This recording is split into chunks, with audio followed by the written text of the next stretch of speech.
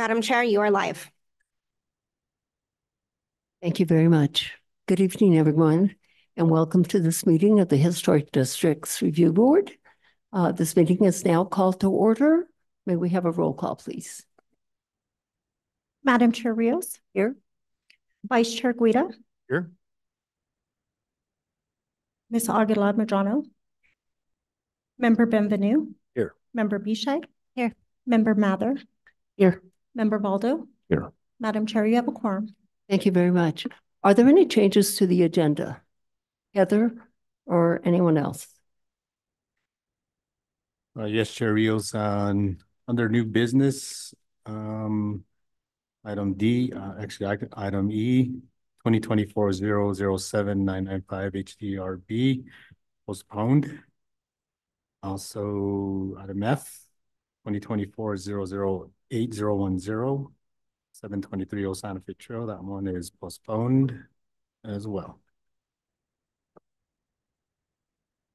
Thank you very much. Is there a motion to approve the agenda as just amended? Rita moves to approve as amended. Aguilar Madrano seconds. Uh, roll call vote, please. Member Aguilar Madrano, Member Bichette, Yes. Member Guida, Yes. Member Benvenu, Yes. Member Mather, Yes. Member Baldo. Yes. Motion has passed. We have minutes of March 26, twenty twenty-four. Board members, changes to any of these? This Set of minutes. Member Benvenu. Thank you, Madam Chair. On page thirty-one of the minutes, let's see, on the uh, second from the last paragraph, beginning member Bienvenu appreciated all the comments. Um, uh, let's see, the fourth sentence, the general feeling is not to demolish the buildings, comma, he said he respected that opinion, add the words, but disagreed, period. Um, then take the next sentence. That's why he proposed that demolition be considered first and move it to follow the next sentence, which is another general concern expressed is the desire to have a collaborative process. Then insert the previous sentence. That's why he proposed that demolition be considered first. That's all I have. Thank you. Any other changes? If not, is there a motion to approve as just amended? Moved. Wait a seconds. Roll call vote, please. Member Baldo, Yes. Member Mather, Yes. Member Benvenu, Yes. Member Guida, Yes. Member Aguilar Madrano, Member Bishai? Yes. Madam Chair has been approved. Right, we have uh six findings of fact and conclusions of law, two under the date of February twenty-seventh, twenty twenty-four. Changes to these. No one has changes. Is there a motion to approve? Mm-hmm. Each side moves to approve the findings of fact and conclusions of law for February twenty-seventh, two thousand twenty-four. In Bienvenu seconds. Roll call vote, please. Madam Bichette, Yes. Member Aguilar Madrano, Member Guida, Yes. Member Benvenu. Yes. Member Mather, Yes. Member Baldo. Yes. Madam Chair, your findings have been approved. Very much. Uh, we have four under March twenty-sixth, twenty twenty-four. Changes to any of these? It appears not. I will entertain a motion, please. Each side moves to approve the findings of fact and conclusions of law for March twenty-sixth, twenty twenty-four, items C through F on the agenda. A second the motion. Roll call vote, please, Amanda. Member Baldo? Yes. Member Mather, Yes. Member Benvenu, Yes. Vice Chair Guida, Yes. Member Aguilar Madrano. Yes. Member Bishai? Yes. Madam Chair, those have been approved. Very much. Any matters from the public? Anyone in this room not having to do with um specific cases for this evening? I see one person coming down, Mr. Herrera.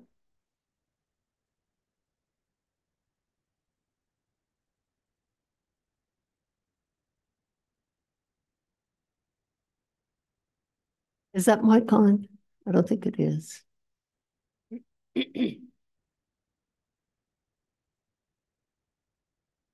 Oh, there we go.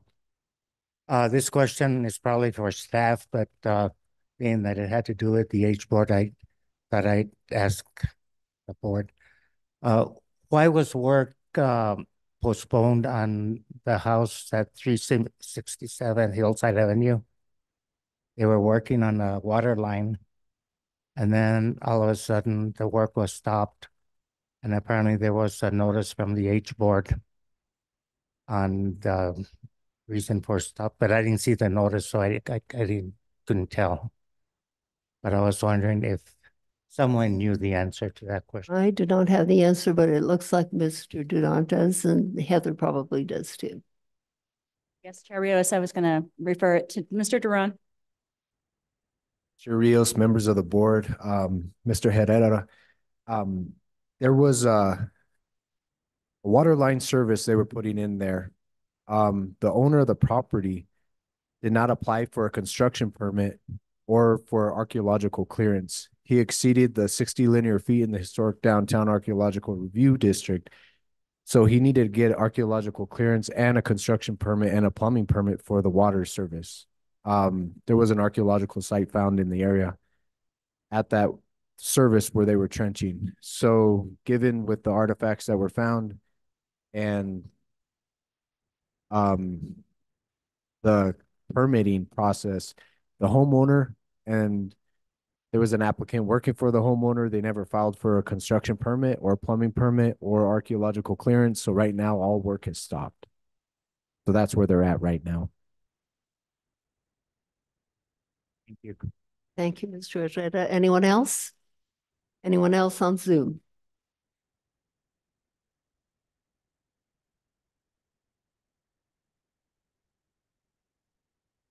Yes, Chair Rios, Stephanie Beninato would like to speak. You may unmute. Uh, thank you. Can you hear me? Yes, ma'am. Okay, great. I, I wanted to bring up a couple of things. Um, I mentioned this uh, fence that came down at um, Don Gaspar and Buena Vista. It's on the southwest corner of Don Gaspar there. And I see now that there are posts that have been put in place. It looks like it's going to be a four and a half foot high, at least fence, maybe four and three quarter feet. Um, it's really inappropriate in that district. There's really nothing else like that, that fence that high. Um, if there are fences, really, there's some across the street, but there's, they're up the hill. So there's a retaining wall, then there's some fencing, but usually you still can completely see the house. And I'd really like to know what's going on with that and, you know, what kind of fence will really be built there. The other thing I'd like to bring to your attention, which I brought to your attention before, but nothing really happens. Um, 300 Galisteo Street, huge HVAC up there, totally visible from the street. You don't even have to try to look for it. It is sticking out like a sore thumb. The uh, hotel, motel, whatever you want to call it, uh, where Garrett's Desert Inn used to be on Alameda and Old Santa Fe Trail. Um, that too has a huge HVAC system. You can, it's just so obvious. And I'm really kind of disappointed because I thought that Architectural Alliance was the architect on that project. And I'm sure Eric and, and whoever else is now running that firm knows better than not to um, shield those uh, mechanical equipment. And then the last place, which I think I saw some, and I apologize for not being more specific, but I was doing a tour over the weekend. Pretty sure I was looking at the Sequoia uh, over there on the north side of Paseo. Pretty sure you can see uh, also mechanical equipment sticking up on that roof as well. This really detracts from our downtown, and I don't really see any reason that it should be happening. And I am disappointed that um, the code enforcement doesn't see it themselves because it's really blatant and all you have to do is actually look as you're moving around the town. Thank you. I hope you will uh, direct your staff's attention to these matters. Thank you, Stephanie. And Stephanie, sorry, but per usual, um, I can hear some of what you're saying and then you fade away And so what I would suggest is perhaps that you could communicate with the city uh, via email. Okay, I just want to say that when I uh listened, I've listened to this a few times on YouTube and I can actually hear myself quite well. It comes across like really well recorded. So I'm not sure why you're not hearing me. Um, thank you. Thank you, Stephanie. Um, staff communications, Heather? Or whoever's going to speak in reference to the. pre- Rios, members of the board, um, just wanted to bring you a notice of twenty twenty-four Santa Fe Heritage Preservation Awards will be coming up on May 9th. Um, we have some nominees, and I would like to read that for you. For Architectural Preservation Award, we have eight fifty-three East Palace, the grocery store. Also, four zero one Old Santa Fe Trail, that is the, um, San Miguel Chapel.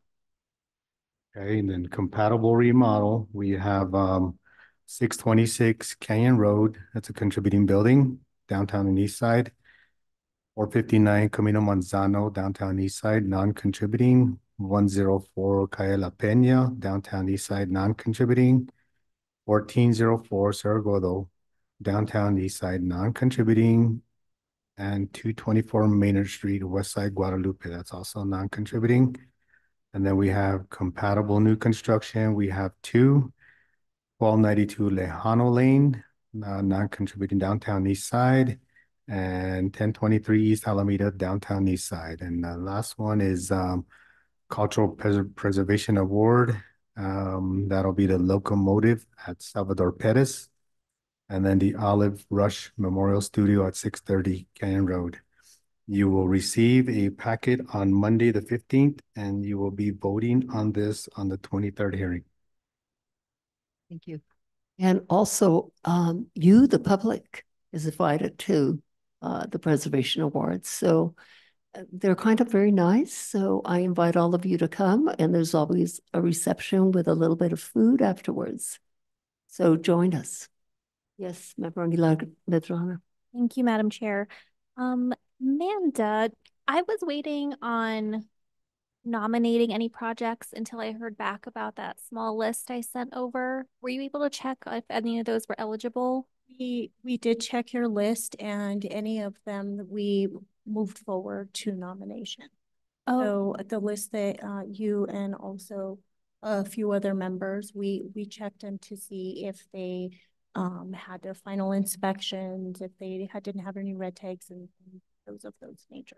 Oh, okay. And I, I did have one that I knew was done, so I didn't include in that email. Do I still have time to send that to you guys or no?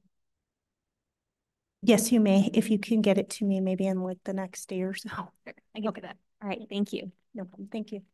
Thank you, Member Aguilar Anyone else in reference to the Preservation Award? No one? Uh, we don't have anything under old business, and we do have five cases under new business. I do need to inform you that if you disagree with the decision that this board renders this evening, you can appeal that to the city council. And that would be fifteen days. You have up to fifteen days after the findings and conclusions have been approved. Also this evening, Amanda, if you will help me uh, regarding public comment, two-minute limit. Thank you. And Izzy is going to be taking care of that from IT. Okay, thank you. You'll hear a buzz, and that doesn't refer to the applicant that is speaking. Um, the first case this evening is located at five twenty-eight Jose Street. Is that applicant here? The applicants are here. And may we hear from you, Ramon?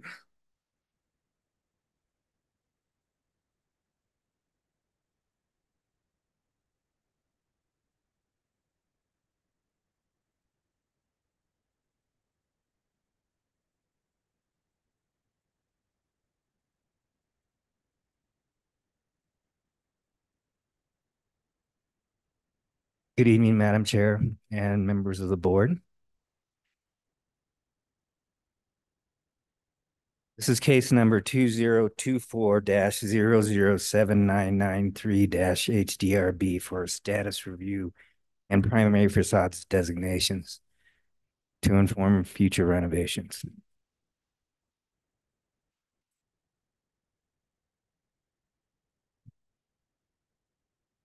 Five twenty-eight Jose Street is located on the north side of the street, west of North Guadalupe and Paseo de Peralta. The status currently is non-contributing to the West Side Guadalupe Historic District. The property is outlined in red. To orient you, it's just west of like the Burger and the um laundromat, dry cleaners.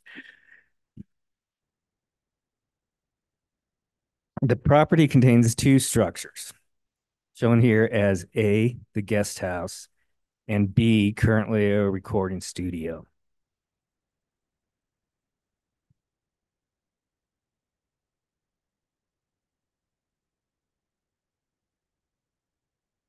According to the HICP, the guest house building A is, uh, was assumed to have started as a shed or possibly a dwelling as a one-story adobe structure with a pre-nineteen sixty-six appendage along its west elevation.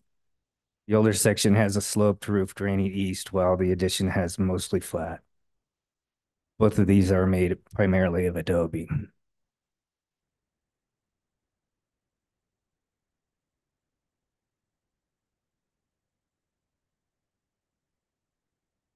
Uh, I should have described this as the east elevation of building A.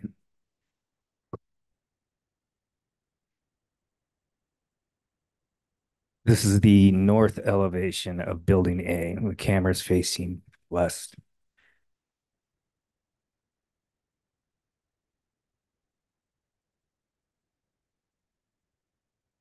Building A, the south elevation, camera facing east. It's hard to get a picture of it. It's right up against the property line.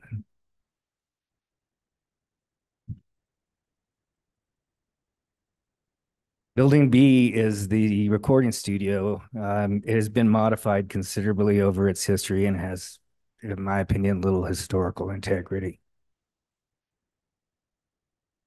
The east elevation.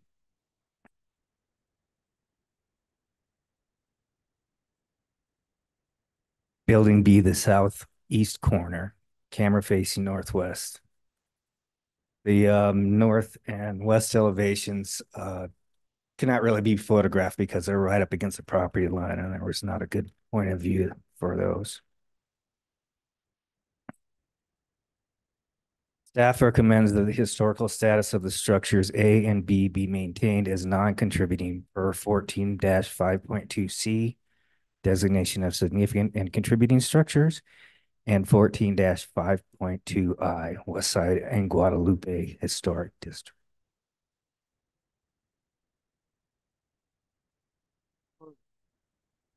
Uh, give us the date of a building, uh, the smaller building, building eight. Uh, it first shows up in aerials in nineteen sixty-six. Adam Chair, And, uh, this building is made out of what? Adobe. Adobe, and, um, how did you come to the conclusion that this was a shed? Uh, that it started out as a shed? Well, uh, this is what, Madam Chair, members of the board, um, this was what was reported in John Murphy's Hickby. In my opinion, I think it was originally a dwelling to begin. with. You, you believe it was a dwelling, but you still stick with your recommendation of non-contributing? Madam Chair and members of the board, yes, I do. I can, I consider these, um, I consider both of these structures have little historic integrity and, um, and a lack of, um, presence. Uh, board members, do you have any other questions? No? Applicant or applicants, will you please come forward and get sworn in?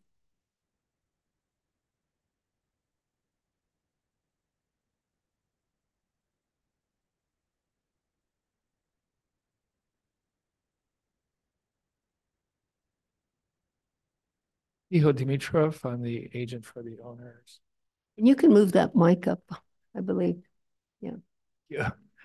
Uh, Agent for the owners, uh, Kate, Tim, Schmoyer, and Kate Carswell. whoever is going to be addressing the board Would you raise your right hand, please? You might as well, all three of you, just in case. Yeah, Uh, and I, I don't know if all three of you stated your name for the record, but before you, let's go and- go ahead and get your name. I'm Kate Carswell, co-owner. Okay. I'm uh, Timothy Schmoyer, co-owner. Okay, I'm the Assistant City Attorney. Um, you have stated your name, uh, and would you give your addresses, please? Uh, both Tim and I are at sixteen zero eight Camino de Cruz Blanca. Okay, and Mr. Dimitrov? I am at two twenty-seven East Palace Avenue. Okay, with your Suite C. hands, I'm sorry. Suite C. Okay, thank you. With your right hands raised, please. Do you solemnly declare and affirm that the testimony you have in reference to this item shall be the truth and nothing but the truth, and you do this under the penalties of perjury? I do. I do. I do. Madam Chair, they are sworn. thank you very much. Attorney Rubelit. Okay. Applicant, what, what do you have to tell us? And do you agree or disagree with um, staff's recommendation? Um, thank you, Ramon, for uh the presentation and and for the for your recommendation. We agree with it.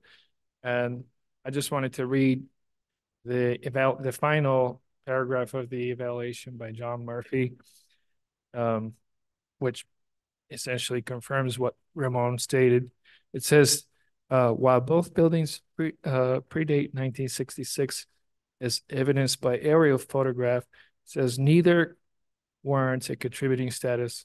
Building A is a modest conglomeration of two adobe structures that may have been a dwelling.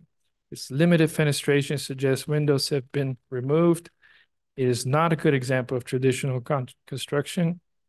Building B received a transformation, transformational renovation in the nineties, changing from a residence to a recording studio.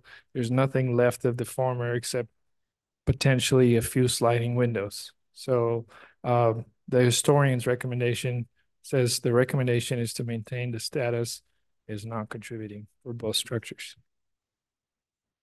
Uh, board members, any questions or comments? At this. time? No one? Uh, anyone from this audience wishing to comment on this particular case? It appears not. Anyone um, on Zoom?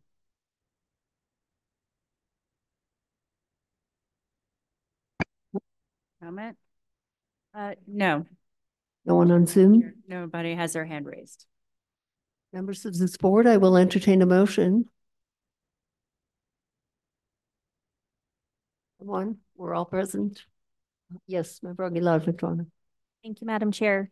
In case number twenty twenty-four 7993 HDRB at five twenty-eight Jose Street, um, I move to approve the application as submitted, maintaining the non-contributing status of both the main residence and the guest house. Wait a second. Roll call vote, please. Member Baldo, Yes. Member Mather, Yes. Member Benvenu, Yes. Vice Chair Guida, Yes. Member Aguilar Madrano, Yes. Member Bishi. Madam Chair has been approved. Thank you very much. Thank you, all three of you. Thank you very much. The next case is located at seven eleven Don Cubero. Is that applicant here? The applicants are here. Um, and that is Paul's case. Paul, may we hear from you?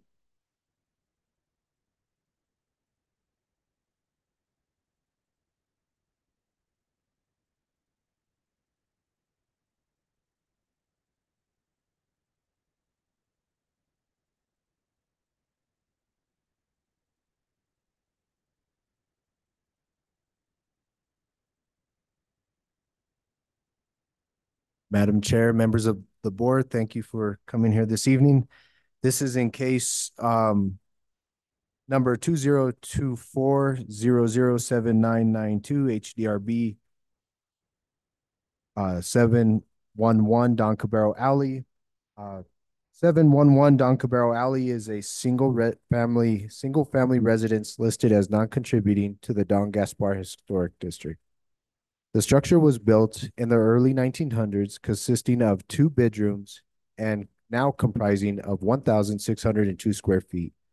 The architectural design of the structure is a modest vernacular style as seen by the original rectangular shape and footprint, adobe block construction material, recessed doors and windows, and flat roof with rounded parapets.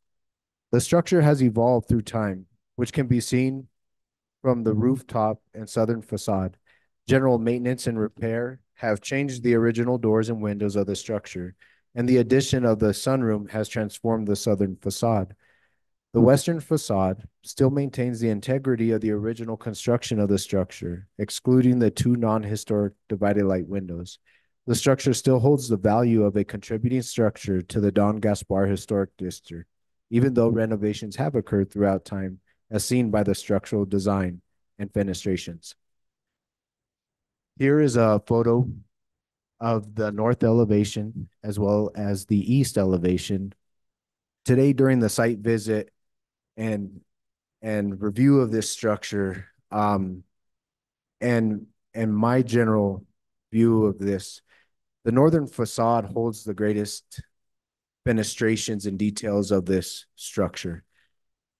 The recessed windows, the rounded parapets. There has been some alterations on that northern facade where one window was changed into a doorway. And I believe John, uh, Mr. Murphy presents a very great historical um, um, archival research. He and he brings to light the history of this home. And and showing that in the early 1900s, this home was constructed, quintessential Santa Fe vernacular style, rectangular style home. Additions have occurred though through the process of the homes, just as all homes in Santa Fe have. You know, um, they built this sunroom to the southern facade, and this addition occurred in the 1980s, 1990s, impacting that southern southern facade. However, the original floor footprint that is still encapsulated and it's still present and it's still it's still there. And i think it needs preserving. And so john captures this in a 1912 king's map. Um, prior to the 19 kings map there was an 1880s map 1890s that that didn't show the development. But between 1890 and 1912 this structure was developed. And that re rectangular shaped uh, floor print floor uh, footprint is still present today. In 1930, we can see the additions that we see um, relative today. It kind of makes a large L shape. Um, same construction block material, adobe block, and just expanding as a family grew. As in the history of this family and the Mendoza family, as the history grew, the family grew, and so forth. The the home did as well. Very common in in downtown Santa Fe. Here we can see in the 1978 aerial photograph, uh, courtesy of Murphy, the floor plan in which we see today. Now, with the addition in the 80s and 90s, there was a sunroom added to the southern facade. Um, but that addition doesn't impact the integrity of this home. And so this is my original um, facade diagram showing that the western facade number eight as the primary facade. I would, I would suggest that uh, the board consider the northern facade as well, and that would be number one. Here is the western facade in which I'm recommending as contributing um, the two divided light windows, the recessed rolling parapets, and it's on on Don Cubero Alley on the roadway. Um, here's a northern facade. It's kind of a tight uh, tight area to get a, a, a good photograph of the elongated uh, facade. However, you can see the deep recessed windows, the door jams, window jams, they're all the same original. Um, and this structure should be designated as contributing. Staff stands for questions. Thank you. Thank you very much for your report, Paul. So portions of this building are over 100 years old, correct? Madam Rio, Madam Chair Rios, yes, ma'am. And um, on the field trip today, um, we noticed that the north facade has the most in my opinion, character defining features the most doors, the windows. Well, it has one door and it used to have two doors, correct? And one door, uh, one window was, uh, one door was made into a window. Chair Rios, that's correct. But I don't think the dimension changed in terms of the width or the height. Is that correct? Chair Rios, that is correct. Um, and it's, it's really a very sweet building. It's not a big building, but it's very well kept and very, very nice. When we entered into the yard, um, you just tell that the family is, is proud of their building and well kept. Uh, any other questions or comments? At this time for Paul? Yes, Member Guida. Thank you, Madam Chair. Paul, um, what's uh, architectural historian John Murphy's recommendation for the status of this property? Chair Rios, Member Guida, um, Mr. Murphy recommends non-contributing for this structure. Why? He recommends not contributing due to some of the additions that have occurred throughout time. Um, and um, he notes that the north elevation, you know, would be the one that was the front of the house. He notes that the door is lost, therefore it no longer communicates its tenement or or um, or duplex status anymore. And he notes that there are there's a change in the footprint from the King's map um, to the present time. Um, I'm curious as to why you would even recommend the west facade, given that only a portion of it is that 1900s footprint. Chair Rios, Member Guida, great question. So my initial um, intent for this structure after reviewing it, reading John Murphy's report, and I think John Murphy did a great job on his report. His history is great. So reading that, I, I was moving forward the north facade as primary. And after staff discussed the project, I moved to the western facade. Given that John Murphy states in his uh, HCPI form, the western facade had the least amount of impact from any. So it's the oldest part of the structure. Except that half of it is an addition. In the 1930s. So we're looking at from 19 pre-1912s to the 1930s, then we have a well-established structure, which is 96 years old, 94 um, years old. So I mean, so yes, there there is that western facade, given that John Murphy stated that, and with the removal of the door to the window, I staff moved to the western facade and and really I believe that it should be the north. Northern facade holds the most fenestrations and and the western facade. Um so which which is it? The north or the it, west? Uh, Your I, I made my recommendation as a west as primary. But I would ask the board to consider the north as well. And what does this building contribute to the historic district? to the Don Gaspar Historic District. I believe it contributes to the development of that time of that landscape. Given that, and you can see the rectangular shape of this structure and as it grew throughout time. So we have we have this, you can see that eastern facade, right? And that's been there for over a hundred years. We know that. That northern facade has been there relatively intact for over a hundred years. And as it grew, we can see that growth at the site visit, it was plain as day. You could see the growth of this home taking place from pre-1912s to the 1930s, and then into the 1980s and 1990s and so forth. And and that's a very this quintessential Santa Fe vernacular style, and the roof, the roof architecture, like as we see the roof, the growth of the family, because the Mendoza family grew. They grew up during the after the post-war. This family was growing, and you can just see that growth throughout time. And, and that's just what Santa Fe homes in this area did. And I think the construction material, fenestration, it, it gives that time and, and place for that Don, Don Cubero Alley. So that's why my recommendation is contributing. I understand the concept of what, what you're trying to get across, that, you know, that, that we can recognize buildings that have evolved over time.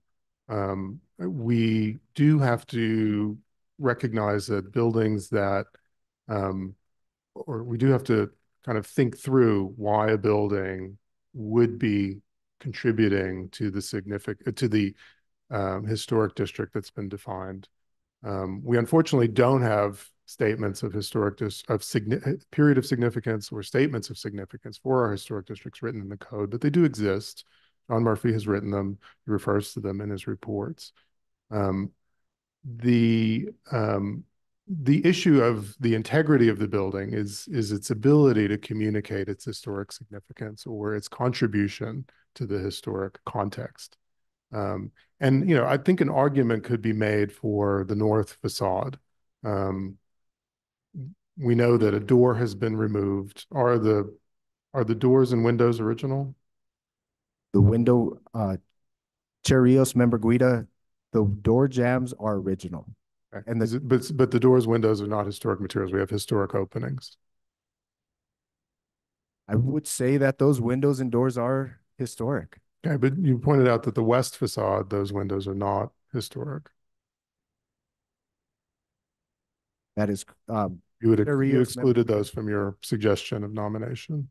Chair Rios, Member Guida, that is correct. These divided light windows are relatively new to the, to the, this facade. However, the, the window jams are the original. And, right. And half of this facade, nineteen hundreds, half, the right half is nineteen twenties, thirties. Chair Rios, Member Guida, that is correct. Um, thank you for clarifying. Any other questions or comments?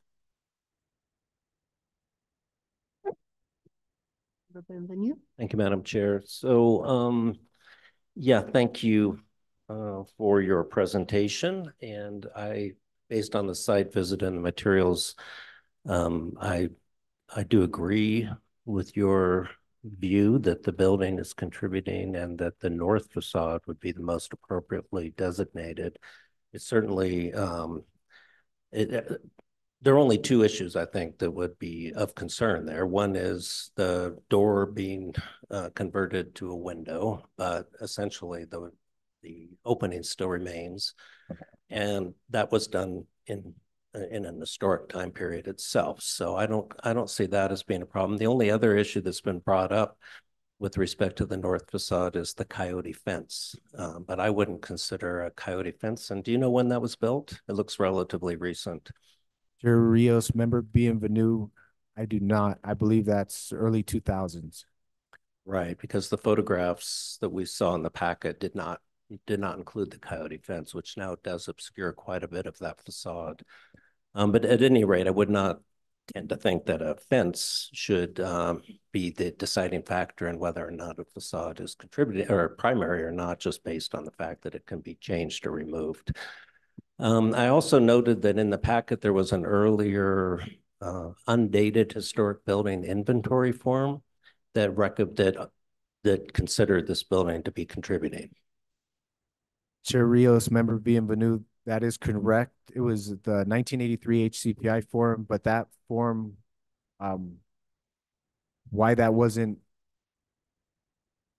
in nineteen eighty-three, why that, this structure wasn't designated as contributing is unknown. Okay, but you're certain though that it is a non-contributing structure as of now? Chair Rios, Member Bienvenu, that is correct. Um, and if the primary facade were the north facade, is there anything that would be excluded? Um, it seems to be not, and you're, I'm asking for your opinion. It would seem to be not because that everything on that facade, even the alterations are now historic, but what's your opinion? Chair Rios, Member Bienvenu, I would recommend that any non-historic materials be excluded, such as the lights, um, any of the windows that are non-historic, the doors that are non-historic, they be excluded. And do you know which ones of those windows or doors are non-historic? Chair Rios, Member Bienvenu, I believe they are all historic. That's what I thought. Okay. That's all. Thank you. Thank you. Any other board members have comments or questions? Member Vichai. Um, thank you, Madam Chair. I just, I just, I mean, John just alluded to this, but um, I think it's interesting to note that the Hi- HICP report um calls out the fence that's obscuring this north facade and uh, just related to other cases and discussions we've had about the impermanence of a fence, but um, it does seem to play a factor in the assessment of of um how a property contributes to the streetscape. I think the HICP says that um prior to the fence, um this house related to um a related house across the street. Um, and I would think that that that would really define its contribution to the streetscape. This fence really does interfere with its ability. I, I mean, it must be at least five, maybe six feet tall. Um, the ability to see what what we is behind there that does contribute is is lost significantly um, due to the fence. Just a comment. Thank you. Anything else? Uh, if nothing else, will the applicant or applicants please come forward and get sworn in?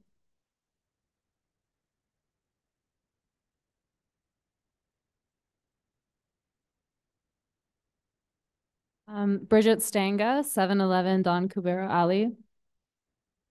Land and lot, seven eleven Don Cubero Alley. City attorney will swear, swear you in. Please raise your right hands. Uh, do you solemnly declare and affirm that the testimony you will give in reference to this item shall be the truth and nothing but the truth under the penalty of perjury? I do. I do. Madam Chair, the applicants are sworn. Thank you. Um, who's ever going to speak? Tell us what you want to tell us about this property. Madam Chair, thank you all for having us. Um, My wife and I, in June of twenty twenty-one, bought this home. Uh, we were currently living in New Orleans and kind of fell in love with Santa Fe, so we moved here. Uh, the property at the time was, I wouldn't say dilapidated, but was not in the current shape that it's in now. Uh, my wife and I both really, really enjoy this house. We both really love this house. Um, however, the house currently does not have enough room for us to grow as a family, which is the intention. Um, this entire process right now is because moving beyond this, we'd like to convert the greenhouse sunroom.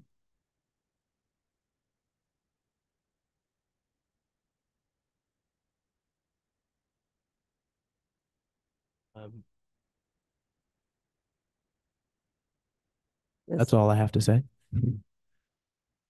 I think I know what, what he told you, that we are, we are simply uh, looking at the historic status. And I'm going to guess that you disagree or you agree? Um, I do disagree. Um, I hired John Murphy to do some research on the house and spoke with him extensively just because I'm a big admirer of his work. I think he crafts a very good story, which I think he crafts such a good story, it makes this seem like a contributing house. However, knowing the limited information that I do about the process of whether it's contributing or not, I do agree with him because I feel like the sunroom of the house kind of completely takes away from the look of the house. Um, changes were made to the front of the house. Um, but I do disagree. Thank you. Um, board members, do you have any questions for the applicants? No question? Yes, member Benvenu. Thank you, Madam Chair. No, not really questions, just uh, just comments. First of all, you you've done a beautiful job with the house. It's very obvious that you have a great deal of care for it. It's it's just a lovely property in every way. I can see why you fell in love with it.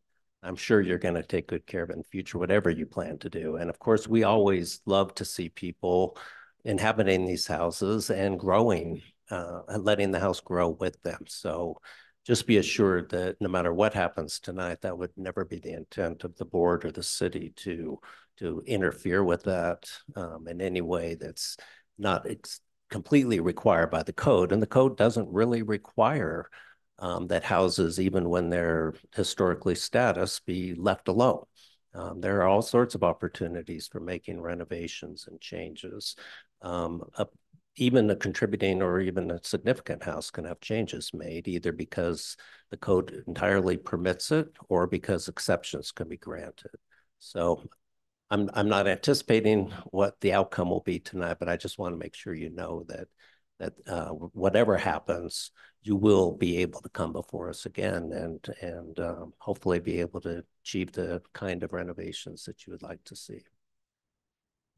Thank you for your comments, Member Benvenu. Anyone else? Uh, If not, anyone in this audience wishing to comment on this particular project? Here's not. Anyone on Zoom? Yes, Chair Rios, Stephanie Beninato, you may unmute. And she does need to get sworn in.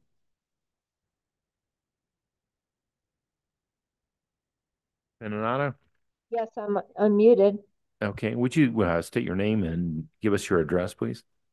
Stephanie Beninato, P.O. Box 1601, Santa Fe, New Mexico 87504. Okay, if you would raise your right hand, you solemnly declare and affirm that the testimony you have in reference to this item shall be the truth and nothing but the truth under the penalty of perjury. Yes. Madam Chair, Ms. Beninato is sworn. Um, I would like to see uh, this uh, designated as contributing with the north facade uh, being primary. I know there's a fence there now, but it did really contribute to the alley. If the fence is ever removed and perhaps like a stone wall that is more in keeping in that area put in in some future date, then the house again would be revealed. And again, I don't think the fencing itself should uh, determine whether it's contributing and um, and and which is the primary facade. I like the idea of the west facade, however, in that um, you have both the earlier building, the early 1900s, and the 1930 building, both of which are historic and contribute to the um, massing and the footprint and are important in that way. So um, to me, either would work, um, but I do think one or the other, or as um, suggested by staff, both perhaps, uh, should be allowed. Uh, and I would say that, you know, addition or changing of a greenhouse would probably, um, especially one that was so far from a primary facade, would be fine. So thank you very much. Thank you, Stephanie. Anyone else on Zoom? Yes, Chair I will entertain a motion at this time. Member Guida? Thank you, Madam Chair. In case twenty twenty-four zero zero seven nine nine two HDRB seven eleven Don Cubero Alley. Move that the board um uh upgrade the status of the structure to contributing and I and designate the north facade as primary, excluding the non-historic light fixtures. Here a second. Neither seconds. Roll call vote, please. For Bishag, Yes. Member Aguilar Madrano. Yes. Vice Chair Guida, Yes. Member Benvenu, Yes. Member Mather, Yes. Member Baldo. Yes. Madam Chair, the motion has been approved. Thank you both. Next case is located at fifteen ninety-six Canyon Road. And I see that the applicant is present. And this is Lanny's case, but I guess Gary, Lanny is absent and Gary will be giving her report. Gary, you have the floor.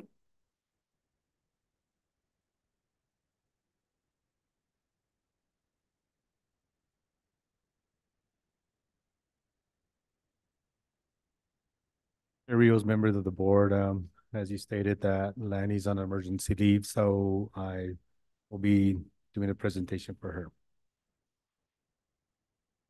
Okay, case number twenty twenty-three zero zero six four nine zero HDRB for fifteen ninety-six Canyon Road, new construction of vacant lot.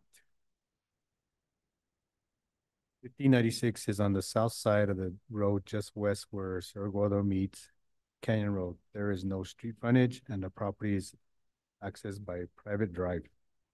Can you speak right into that mic so we can really hear you? Thank you.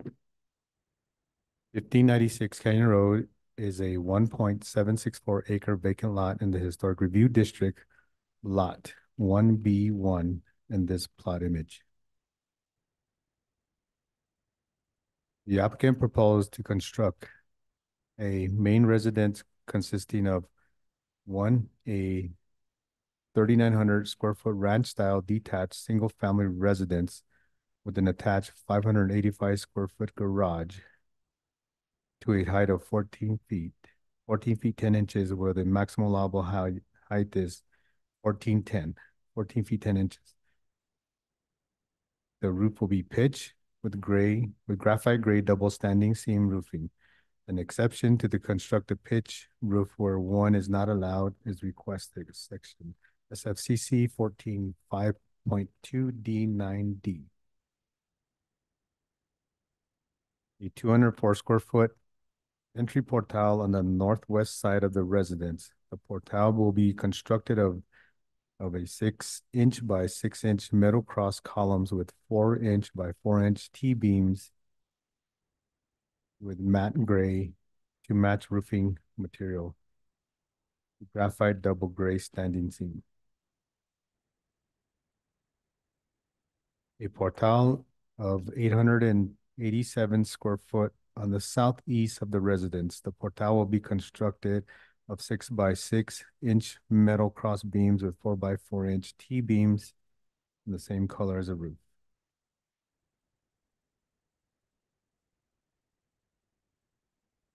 A six hundred and sixty-seven square foot open roof pergola on the northeast side of the residence will be built uh, six by six inch metal cross beams, four by four T beams, and two by four inch steel tubes in the same color gravel gray. gray.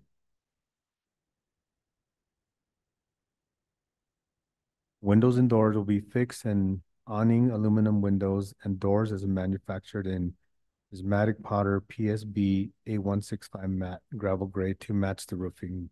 The windows and doors will be single light windows. The historic Review District states that the following, in order to emulate traditional Santa Fe architectural and construction tradition, it is intended that the structure be designed to appear essentially as structures with the massive walls which are defined as being built or appearing to be built of adobe construction. Wall thickness appearing massive in relation to the wall height and where the applicable the depth of the windows, doors and entry, opening showing the massiveness of the structure windows and doors do not appear to be inset to comply with this standard. Garage door will be aluminum folding windows to match the roofing.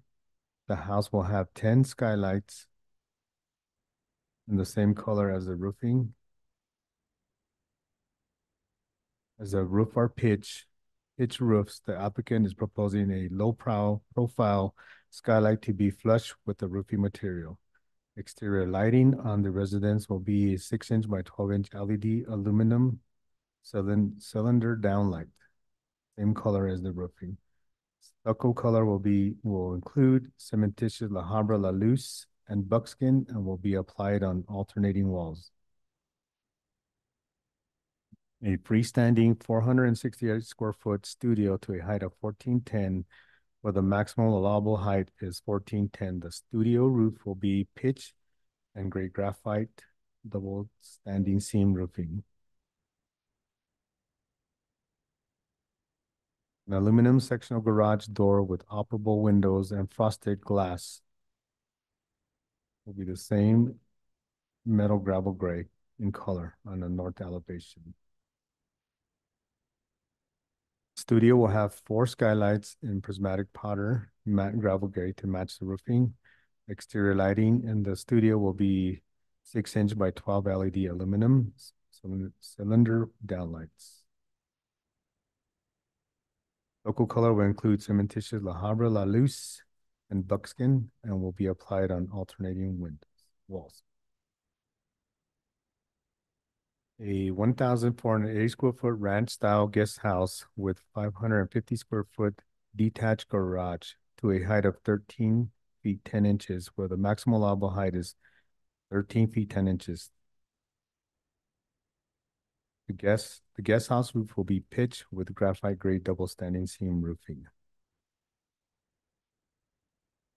And thirty-nine square foot portal will be on the southeast side of the guest house. Guest house will have four skylights. Um, four skylight with powder PSB eight one six five matte gravel grade to match the roof. Exterior lighting at the guest house will be six by ten inch inch LED element cylinder down lights. Local color will include um La Luz and buckskin applied on alternating walls. On the site, there will be three swimming pools, two at the main residence and one at the guest house of concrete and tile. Automatic retractable covers and pool arms. A six inch wide rectangular metal water spout and pool filters in the satin black on the southeast and marine grade stainless steel outdoor showers with foot washers.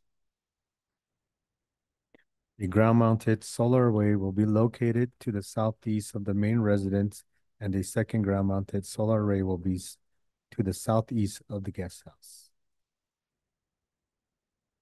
Other features will include an exterior stone fireplace, planters, water features, which will include circulating water features, rainwater catchment system, cup and chain style rain chains in place of downspouts in dark browns or black, depending on manufacturer.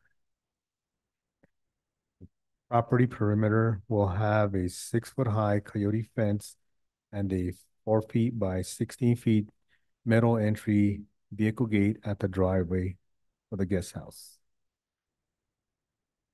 A four feet by 20 feet vehicle gate will cross the access easement for access to the main residence. The six-foot deer fence with access gate will surround the garden between the main residence and the guest house. The driveway patio and walkway surface will be Santa Fe brown, three-quarter inch by seven eighth inch gravel and French grade pavers. Slope cuts, slope cuts have been preliminarily reviewed by the terrain management team. All structures will be set back from the Acequia de Llano per a condition set by the Archaeological Review Committee and the terrain management team.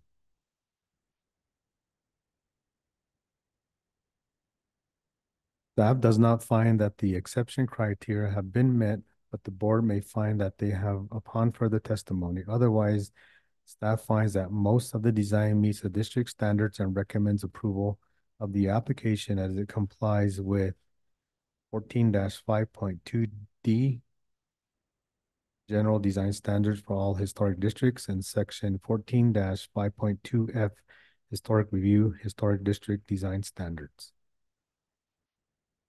Now for questions. Thank you, Gary. Heather? Just one quick thing, as, as you noticed with reference to with reference to Gary's presentation, it is in historic review, historic district. There's only a small portion of the lot that's in the downtown and east side. So typically, if it's over fifty percent, we consider it as part of, of a district.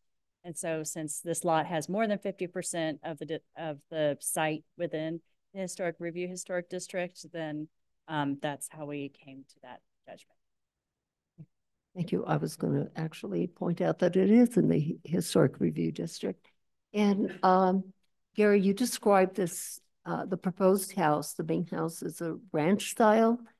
Is that um, something that is an accepted style within our historic, uh, within the ordinance? Arios, members of the board, um, as Lanny stated that it does not meet the um, Adobe style that is um, part of the historic review district. Thank you. Um, yes, Member Guida. Madam Chair, may, may I ask that we also review sixteen hundred Canyon Road since that is the adjacent property, same set of issues and, and hear both of those case reports and comments together? please? We can do that if uh, It's on the same property and then uh, I would ask for two separate motions.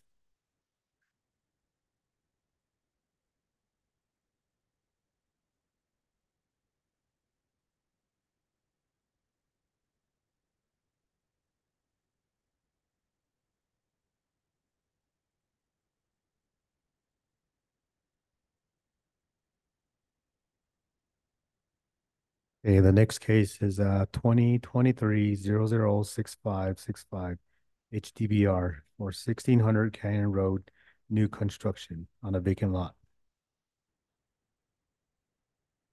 Sixteen hundred Canyon Road is on the south side of the road just west where Cerro Gordo meets Canyon Road. There is no street frontage and the property's accesses by a private drive. Sixteen hundred Canyon Road is a one point zero nine five acre vacant lot in the Historic Review District. The applicant proposed to construct. The residence will be a thirty-two hundred square foot ranch style single family with five hundred and fifty square foot attached garage to the maximum allowable height fourteen ten. The roof will be pitched with graphite double gray standing seam roofing. An exception to construct a pitch roof where one is not allowed is requested under SFCC 14 5.2 D9D. The Historic Review District states the following, in order to emulate traditional Santa Fe architectural and construction traditions, it is indeed that intended that the structure be de designed and appear essentially a structure with massive walls, which are defined as being built or appearing to be built of adobe construction, wall thickness appearing massive in relation to wall height, and were applicable, the depth of windows, doors, and entry openings showing the massive of the structures. Windows and doors do not appear to be inset to comply with this standard. A 98 square foot entry portal will be located on the southeast side of the residence a six hundred and fifty square foot portal will be located on the southwest side of the residence.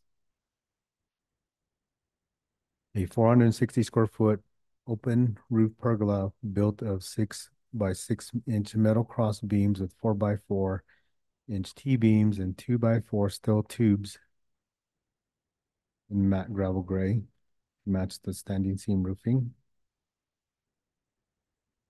The pergola will not be publicly visible. Windows and doors will be fixed and aluminum aluminum windows and doors as manufactured. To match the, the roof as well. The windows and the windows and doors will be single light windows. For the garage doors will be aluminum folding doors, the same color to match the roofing. The house will have eight skylights in the same color as the roofing as roofs are pitched roofs, the applicant is proposing a low profile skylights to be flush with the roofing material. Exterior lighting on the residence will be six by 12 inch LED aluminum cylinder downlights.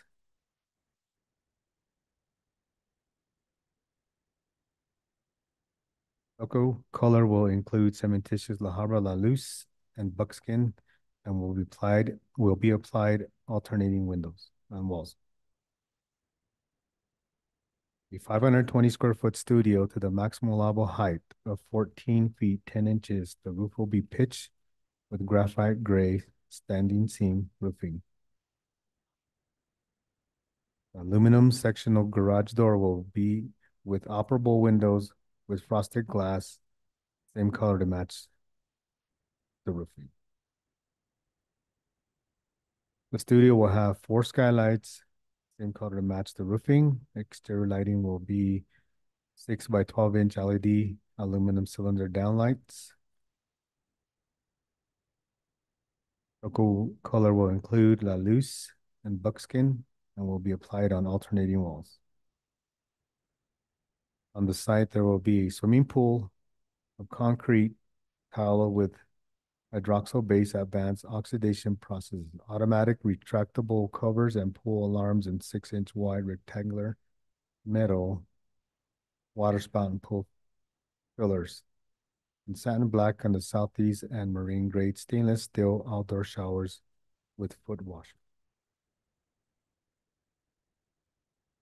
The ground mounted solar array will be located in the southeast of the main residence.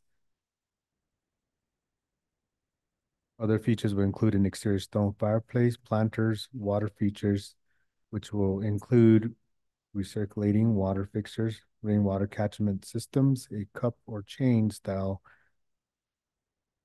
rain chains in place of downspouts, dark browns and black depending on manufacturer. The property perimeter will have a six foot high coyote fence with a four by six feet metal entry vehicle gate at the driveway for the guest house. A four feet by twenty feet vehicle gate will cross the access easement for access to the main residence. The driveway patio and walkway surface will be Santa Fe brown, three quarter inch by seven eighth inch gravel and French grade pavers. Slope cuts have been preliminary, preliminary reviewed by the terrain management team. All structures will be set back from the Acequia Delano per the conditions set by the Archaeological Review Committee and the terrain management team. Staff does not find that the exception criteria, criteria have been met, but the board may find that they have upon further testimony. Otherwise, staff finds that most of the design meets the district standards and recommends approval of the application as it complies with fourteen five point two D General Design Standards of all historic district and section fourteen five point two F Historic Review District Design Standards. Time for questions. Thank you, Gary. Um, so we are looking at two main houses and at um, 1596, we're also looking at a studio and a guest house. Uh, on 1596, there will be a garage that will be attached to the main house, and the guest house will have a garage that is not attached, correct? I do believe yes. And uh, the applicant is also proposing a total of, am I understanding this correctly? Four swimming pools? Three at the um, 1596 project and uh, one at the 1600? Uh, Madam Chair, that is correct. Thank you. Um, other questions or comments at this time, Member Guida? Thank you. Just a, a question for Gary. To be clear, this is, we're saying this is the review district, right? Chair Rios, um, member, um, eight board member, yes, that is correct. So in the review district, as I read the code and, you know, the question of style was brought up earlier, there's no mandate for an architectural style to be followed in the review district. Um, there are conditions put on the design of a building to be wall dominated um, and to, you know, have more wall than window and all of that. Um, but there's no requirement for Santa Fe style or recent Santa Fe style or things like that. That's that's part of the downtown and east side historic district. A another point of clarification, the review district also indicates that uh, while um, generally not allowed, gabled shed and hip to roofs are only allowed if sufficient evidence is provided to uh, by the applicant showing that there are pitched roofs before December 12, 1983 in the, in the relevant streetscape. Um, that's not the code section that's, that's in these reports and the foundation of the exception request of, of the applicant. Am I misreading that? Arios, member Guida, with reference to the pitched roof, there's, there's actually two code sections. That first one would be the historic review district standards. And then the second code section has to do with height. And so both of those will apply in this case and, and the height code section is what is being referred to. And that section states that there may be no there may be no pitched roofs in the streetscape unless more than 50%, I believe, uh, pitched roofs exist in the streetscape. And those would be those pitched roofs in existence before 1980. Okay, so we're dealing with two things here, the general design standards, which don't allow pitched roofs. Period, in any historic district, in any, The um Chair Rios, member Guida, it's it's the Historic Review District. Yeah. standards. And um, you know, as as you read, there is an opportunity for that. And then the height standards relative to the regulation of height for all structures, um, including the northern portion of the Historic Review Historic District. So there's a special provision for that northern portion that it be compatible with the overall heights in the downtown. east I. I guess Heather, I'm, I'm looking for the place where we need an exception. To request a pitch where a pitch is not allowed. That's what I'm not finding. Chair Rios, let me look at the code to see what specific code criterion that is. Okay. Uh, but I, and I will get back to you. Thank you. Any other questions or comments? Member Bienvenu? Uh, thank you, Madam Chair.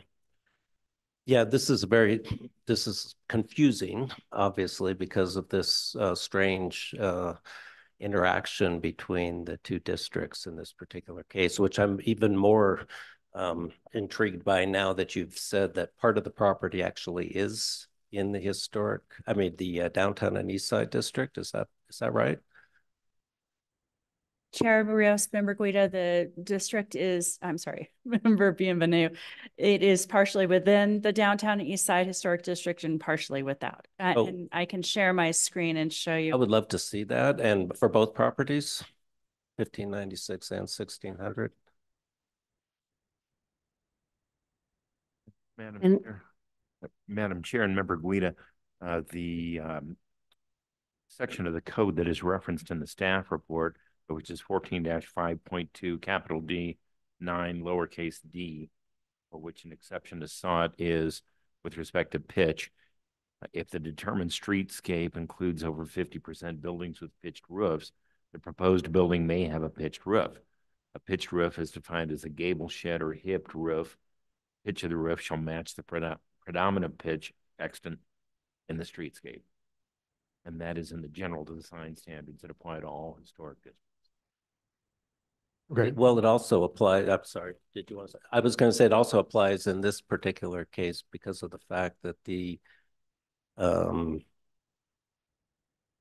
historic district, uh, when accessed by Canyon Road is specifically brought in Historic Review District, when accessed by Canyon Road is specifically brought within the the height requirements of the ordinance, correct?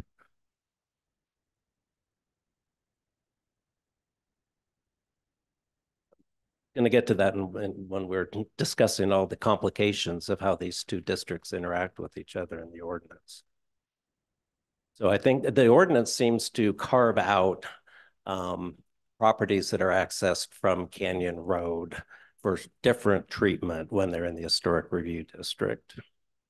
Is that fair to say? Do you agree? I, I believe it does, but let me see if I can find that. I haven't seen that in a while, but I, I do recall some. Also, So- Heather, um, when you let us know if, uh, what portion of the property or properties is in the, uh, downtown east side, would you indicate if it's both addresses or part of a, one address and just indicate clearly what, what we're looking at? Chair Rios, um, I have shared my screen. Izzy just brought it up. Thank you, Izzy. And so this is our GIS system. And you can see, let me sort of zoom in. I just don't want to lose the context if I zoom in too much. Okay, maybe that's a little bit better. So here's fifteen ninety-six Canyon Road, sixteen hundred Canyon Road. So as you can see, the sixteen hundred lot is all within the Historic Review Historic District. The yellow color here is the downtown and east side historic district. So the abutting properties to the north, um, uh, fifteen ninety-four and sixteen oh six are both primarily in the downtown and east side historic district for sixteen oh six, and then almost all fifteen ninety-four. So with reference to the um, fifteen ninety-six, you can see that there is a portion of the property that is located in the downtown East Side Historic District. And then the rest of the property is within the Historic Review Historic District. let me do something really quick and um, show you the aerial as well, so you can have the the context and understand generally what um, area of the lot is within. So if unfortunately the lines won't stay up, we're actually I can do one thing. I'm sorry. Make it very light.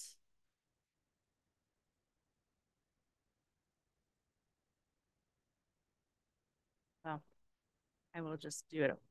The, on the on the run is a little hard, but you can see um, this is 1596. This is 1600 Canyon Road.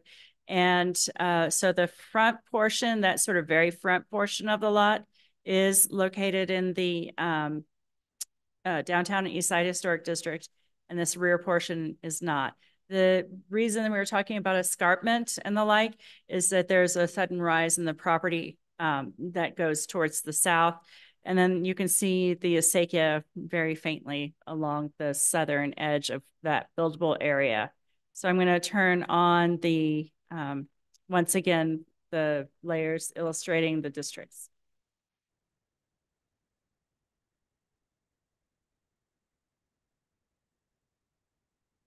Just one thing. Um, so what structures are within the downtown and east side district then that are being proposed? Um, the guest house apparently, right, on fifteen ninety-six? Chair Rios, member Bienvenu, that is correct. Generally, we do it by parcel though. And so if a parcel, because this is not exact in our GIS system, uh, if a majority of the parcel is in that particular district, we do the entire parcel as that particular district.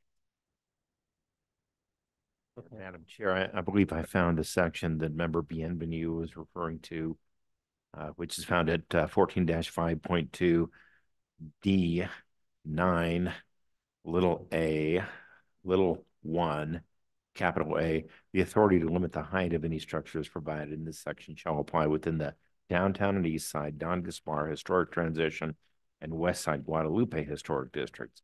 B, it shall also apply in the Historic Review District as specified herein.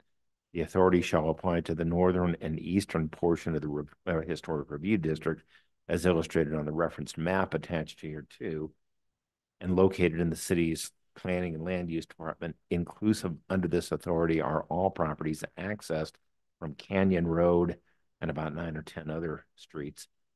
Um, as they continue out of the downtown and east side historic district and terminate in the historic review district. Uh, I mean, it, makes perfect sense that that would be there, right? Because this is so clearly not the review district, regardless of what the map says. This is so clearly Upper Canyon Road, the very heart of that district and it and these properties all relate to the adjacent properties there, not to the quite distant properties that um, are what we located in what we normally think of as the review district. I'll have some other comments, but go ahead. And just to kind of finish up these two points that are in discussion, if I may, Madam Chair, I'm sorry. Um, um, so that that that section, um, Frank, that you just read, um, applies to height. Um, and, you know, it's understood why that would be the case. Um,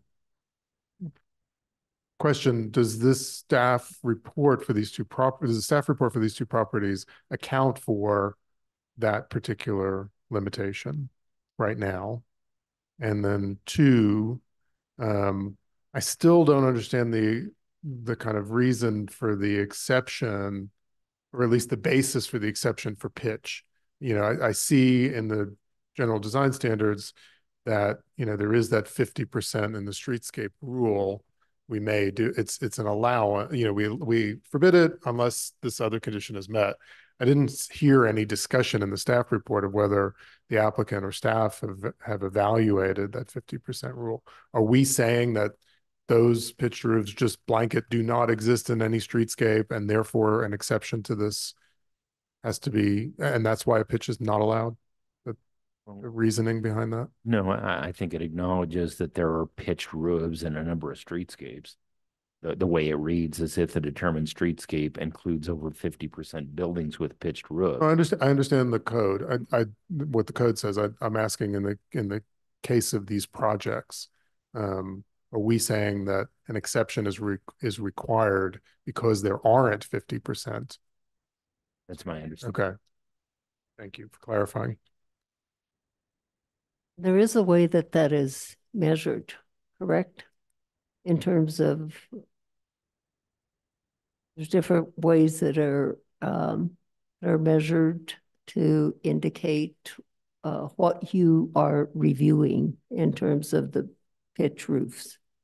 Uh, yes, it is, and it is, um, since it doesn't have a street frontage, it'll be measured three hundred feet in all directions. Okay, Heather. Thank you, Gary. Um, so am I understanding you correctly that the property on located at fifteen ninety-six Canyon Road, we are reviewing that as though it is uh, all the buildings that are being proposed this evening are downtown east side? No, it's historic review, historic districts. Okay.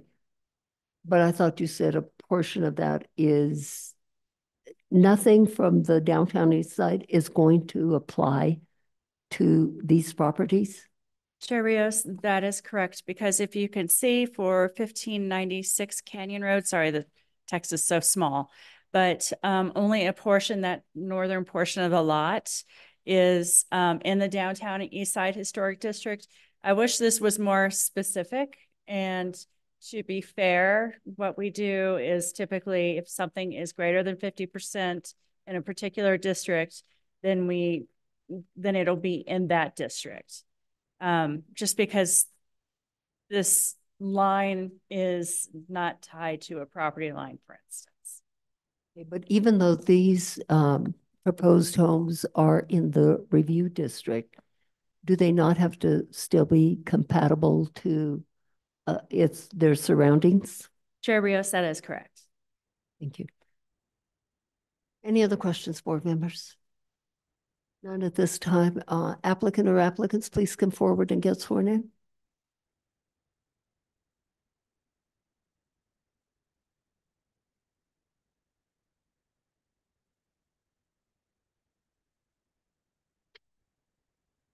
Or would you state your name and give us your address, please? My address is thirteen seventeen B, Cerro Gordo Road, Santa Fe, eight seven five oh. Thank you. Mr. McDowell, do you solemnly declare and affirm that the testimony you have in reference to this item shall be the truth and nothing but the truth under the penalty of perjury? Madam Chair, uh, the applicant is sworn.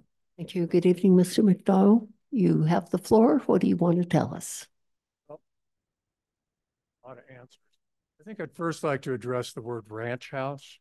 And I think that so many of these words these days we use to, so many of these words these days we use to address archaeological, architectural style, they get misread real quick. Maybe ranch house has to do with cowboys and all kinds of things. I hear a lot of people over the years talk about Betty Stewart, Southern Texas ranch style homes, which everybody loved and very beautiful, a lot of detail. Um, ranch house in general, from my understanding, is long, L-shaped, open to the, the sides and what have you style.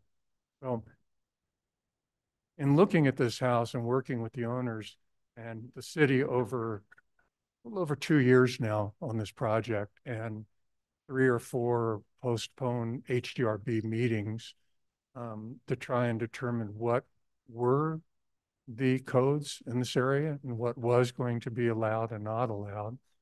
Um, I think it's important to really look at this pitched roof question because I think most people, when they think of pitched roof, think of high pitched roofs with uh, a lot of white detailing, a lot of fenestration, and different things that would be looked at in the territorial style of the quote unquote traditional pitched roof.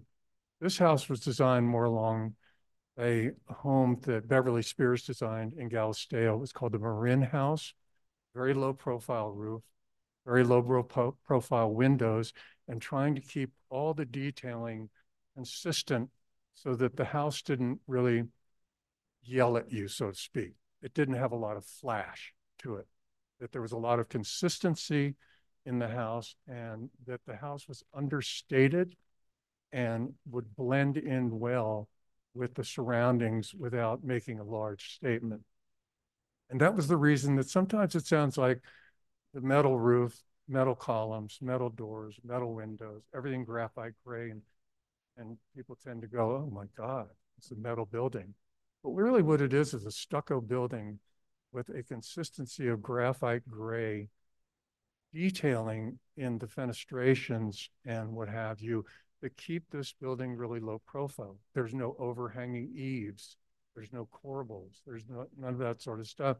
But the idea is also not to make it look like a contemporary home. It's just more of a leaner country, if you'll excuse expression, ranch home that was not overbuilt and was used, the same detailing was used throughout. Um, as far as, if I could, I'd like to pass this out. I live on Cerro Gordo in the same neighborhood, and I walk Cerro Gordo and Upper Canyon Road a lot. And over the years, I've taken an inventory of the obvious pitched roof homes on, on that loop in those neighborhoods. And there's a lot of them.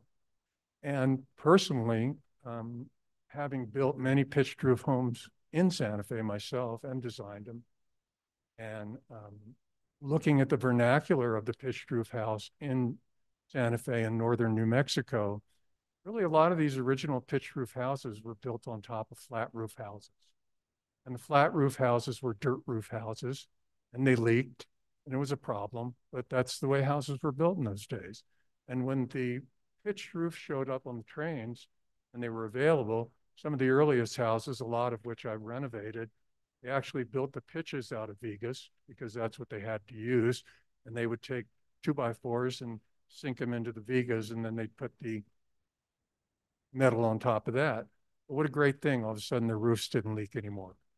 And that was how it happened. And it really became a very part of this vernacular of what happened in New Mexico. And it really was a great advantage these people that had old flat roof houses that were leaking that had mud roofs on them. And so it's not, I have a feeling people tend to look at pitched roofs as it's a modern style that's been brought into Santa Fe, where it's really a very, very old contributing style in the historic district. But the detailing of it can be taken to an extent that it can be overstated. So on top of that, Upper Canyon Road is a very snowy area in a lot of winters, this winter being one of them. And being on the north face of Upper Canyon Road, it very it, it dries or it melts very slowly and it freezes and it melts and it freezes and it melts and it freezes, which is hard on flat roof areas. And pitched roof construction and low profile pitched roof construction makes it easier to catch the rainwater makes it easier, easier to deal with snow buildup on roofs and uh, is a real benefit to the homeowners in those areas. I've worked up on Upper Canyon Road many times and have just recently too and been dealing with ice and snow.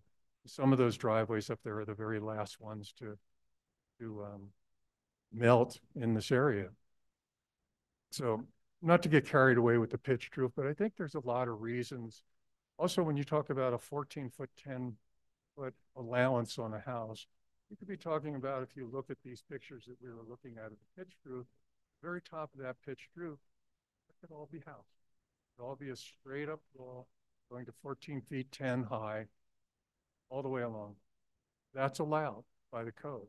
But the idea of a house that pitches at nine feet back to 14 foot 10 is, is not being considered, which really from an architectural style or a visual style, it's less obvious because it's leaning in land and it's leaning back with the hillside, which is a very large hillside right behind it.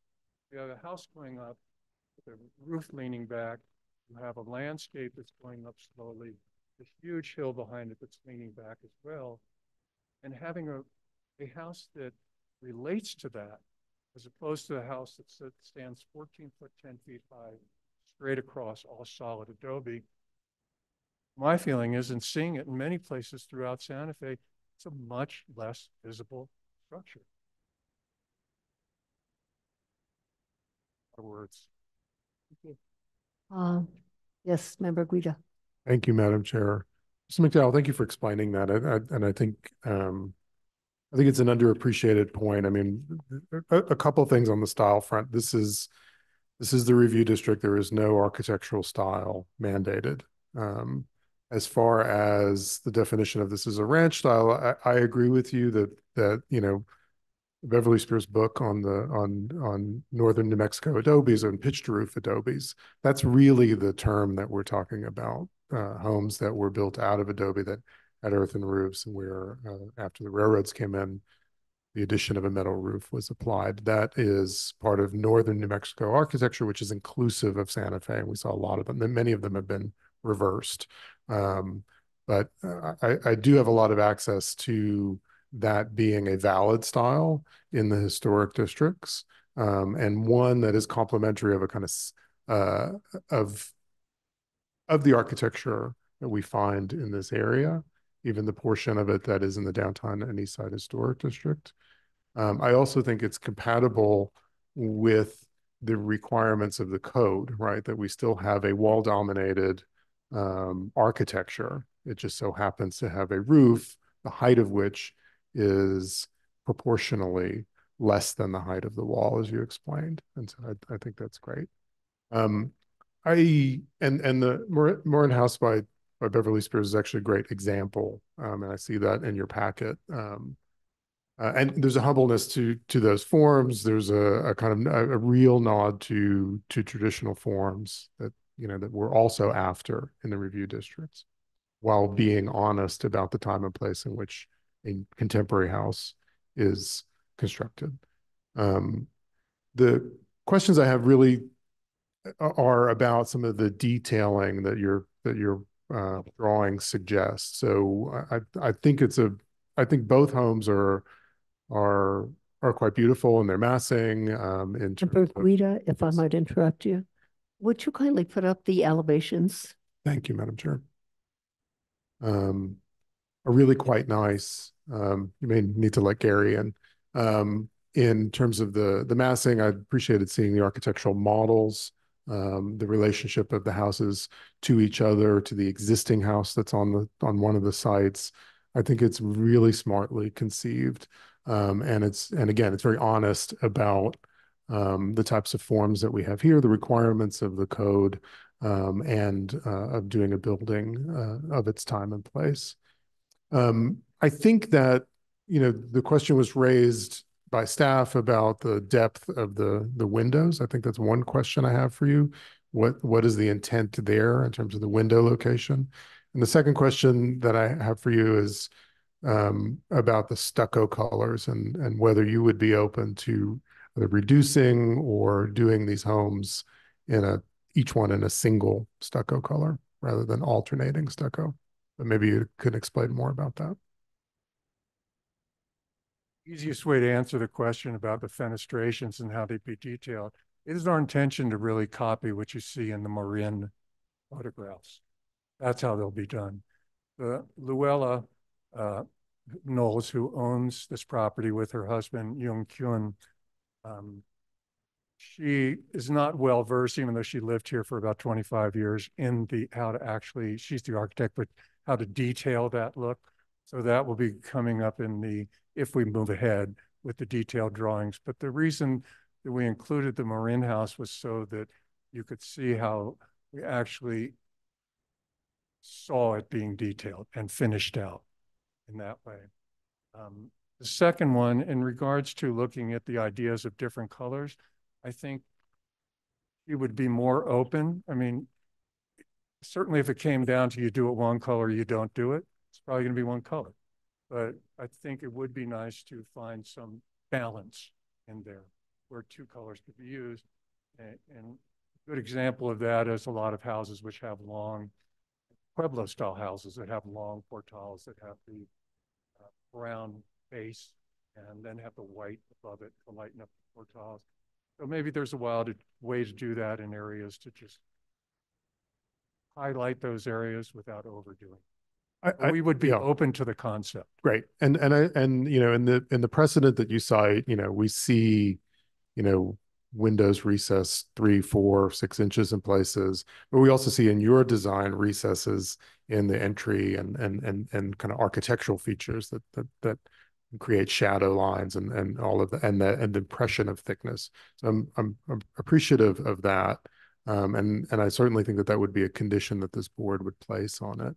As far as the colors go, I, I guess I'm looking for something more strategic, right? I think that, you know, this idea of kind of, or at least the way it was explained, of alternating stucco colors is a little bit worrisome just because of kind of bad examples that we've seen in the past. And I think what you're suggesting in the way of a kind of more strategic application of colors, um, particularly in the way that we see them more traditionally under portals, I think would be my preference for for how to to to apply color to this. But I would understand too that you'd want to differentiate one property from another. So that makes sense. I agree with you, and I think that's the concept of, and not to bring in somebody who's, you look at John Gaw Meem and, and the patterns of, he looked at patterns of architecture and brought them into his time. So yes, that pattern, if it was brought into this time, I think could be well done and still have some definition to those times. Thank you. And as far as three pools, there's one pool at each house and a couple water features. Okay. Board members, uh, other questions or comments at this time?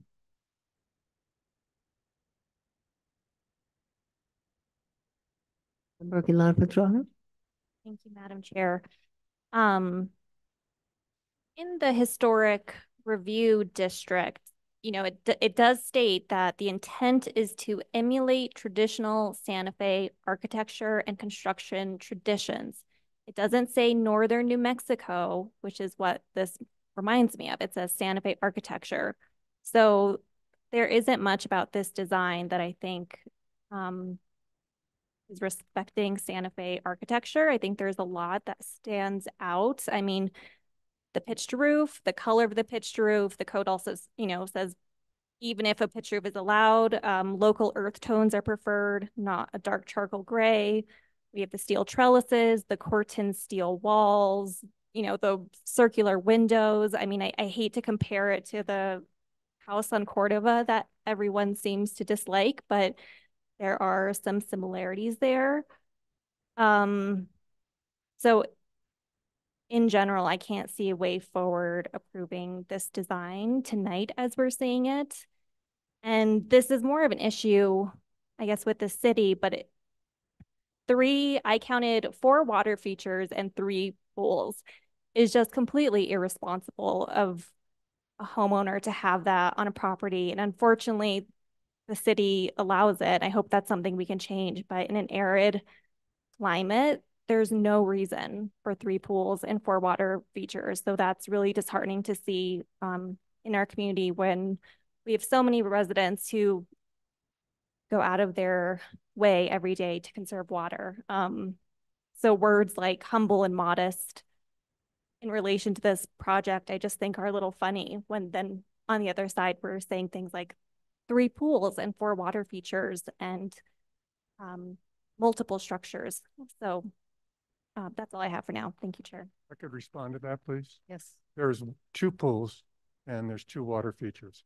And certainly, I agree with you with exactly what you said about water features. And that's why this board is here, so this board may come to the conclusion, or even the, uh, the city, that they're not going to allow the water features. They're not going to, that those things are not acceptable. And a part of an approval, if there was an approval, could be to agree to take those out.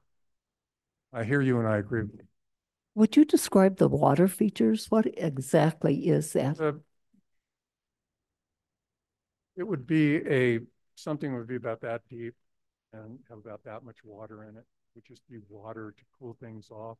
I think that my personal opinion is that it's not, it probably works well where um, the well it comes from, but in this situation, it really wouldn't have a lot of appropriateness.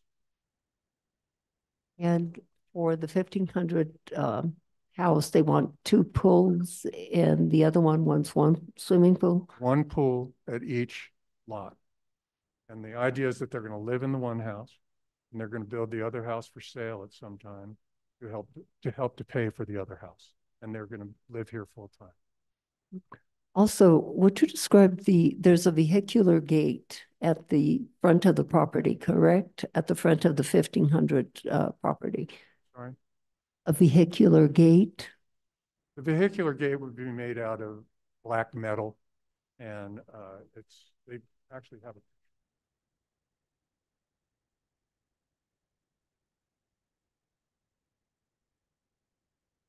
And is that twenty feet long, four feet high?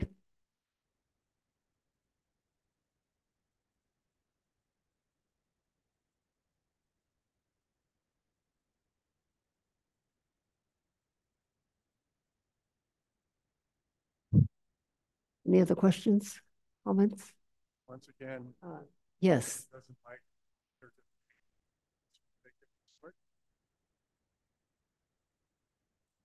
Member Aguilar Madron?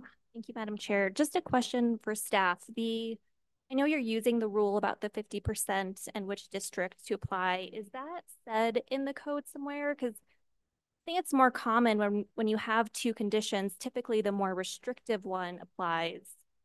Um, so I'm just, is that up for debate tonight, which district that this is part of? Or is that stated somewhere in the code that greater than fifty percent of property it will be that part of the district?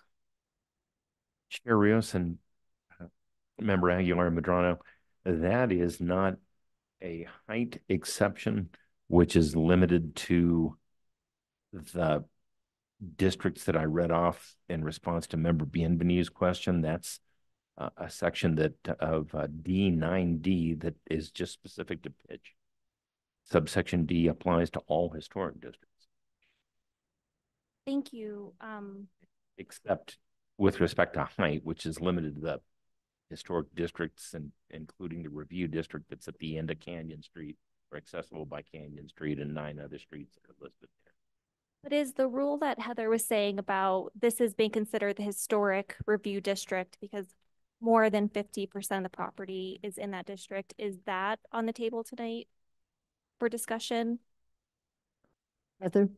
Member Gross, Member um, Aguilar Madrano, the, um, that is, I was just double checking with Gary, that is a process that generally is applied.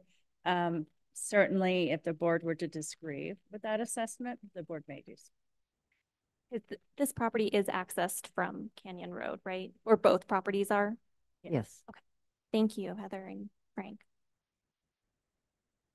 Uh, Member Bienvenu?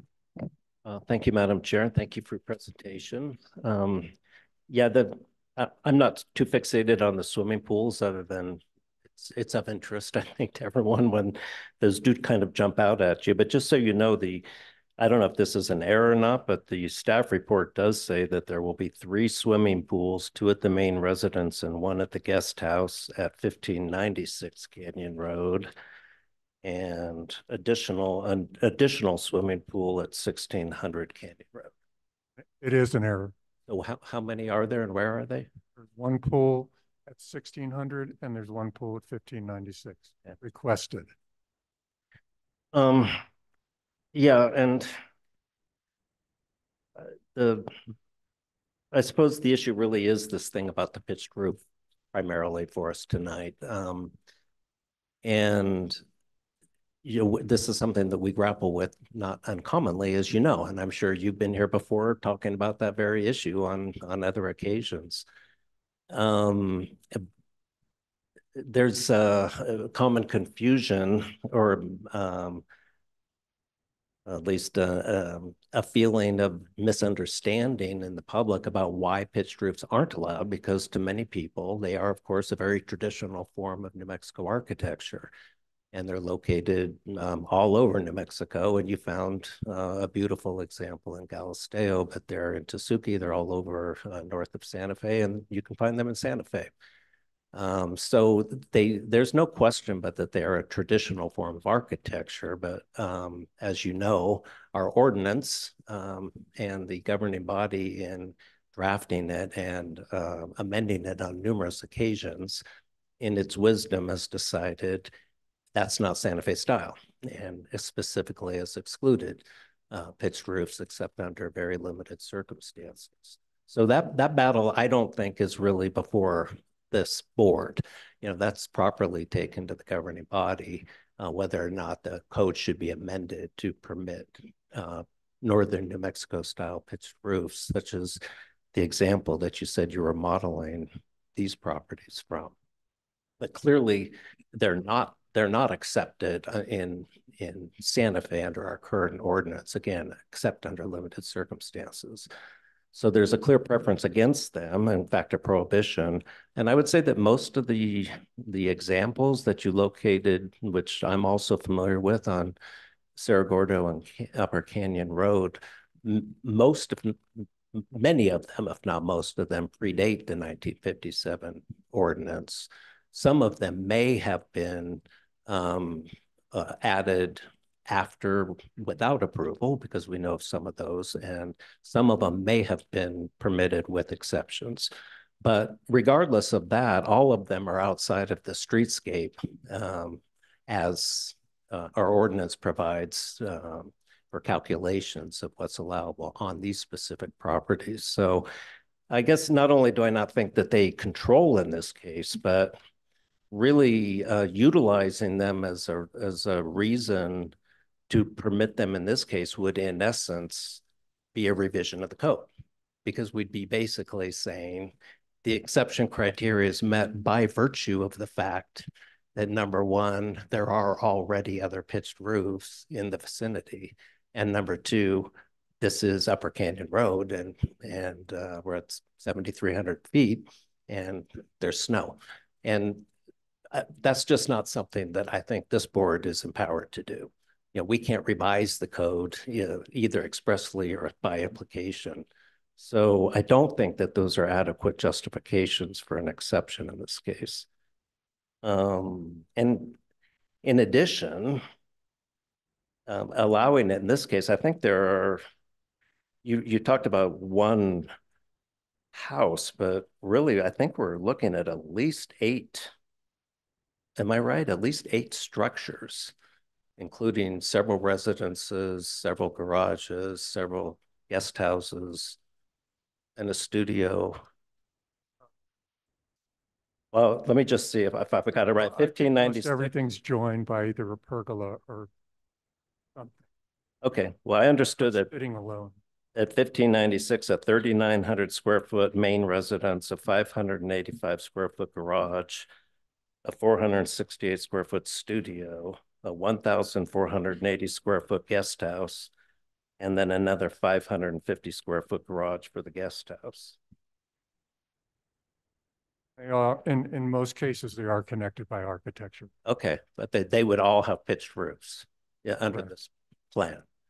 And I, I mean, I have to say, I've, in, I see it a lot. I, I, I hike up the Dale Ball Trail off of Hyde Park Road, looking over towards um, that's Sierra del Norte and what have you. There's a couple cases there where there's a lot of full height Pueblo style homes. Right next to them, there's these pitch roof homes that are graphite gray, and the graphite gray becomes shadow. And then next to them, there's a red roof, and the red roof becomes this big rectangular red as opposed to shadow. So it's, I, just can't help but, and I've built a lot of these pictures and designed them over the years. And so much of it has to do, it's just with detail. And in many cases, in my at least opinion in this situation, is that these homes will be less visible than a 14 foot 10 uh, tall foot tall homes of these size, parapet Pueblo style home. What you're going to be seeing, and it's showing up in the digital versions that were shown, setback off the road, there's going to be trees that are already there and more trees planted to try and negate any impact, negative impact to neighbors or to the streetscape from a person's point of view that may not like the idea of a pitched roof house. And from a designer, architect, builder point of view, I don't think there's any doubt in my mind that they're going to be less visible. Right. So again, it's not really a matter of personal preference from my perspective as to liking or disliking pitched roof houses. It's just that they're not permitted in this area. And that's what we live with. Um, so it's not, it's really not an opinion of, of mine, I don't think, or perhaps anyone on the board, so much as an application of the code. And uh, again, you know, putting however many uh, structures with pitched roofs in this one location um, with, I don't know, 10 or 12,000 square feet of roof, it looks like, um, that would certainly have a large impact, I think, on, on the surrounding streetscape as well as the district. So, uh, you know, the, that's my uh, uh basic uh, view of the exception criteria as they would be applied here. And I do think that we have to apply, um, at least in spirit, the uh, downtown and east side standards as well, because at least one of these structures is literally located within that district. And um, certainly the entire properties are in spirit within the downtown and east side district. And our code, even if it does um, have slight some different standards for the review district, which to some extent I'm sure you're legally entitled to abide by.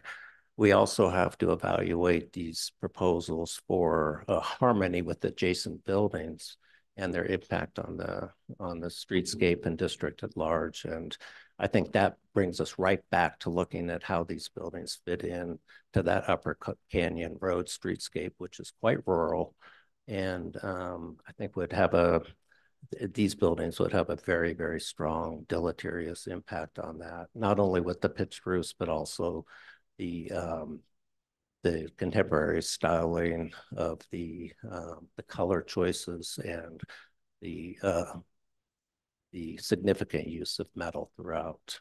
So those are my general comments for now. Thank, you for your comments, Member Bienvenu. Board members, any other comments at this point? I'd like to respond to it. Yes, sure. Thank you. Yes, absolutely.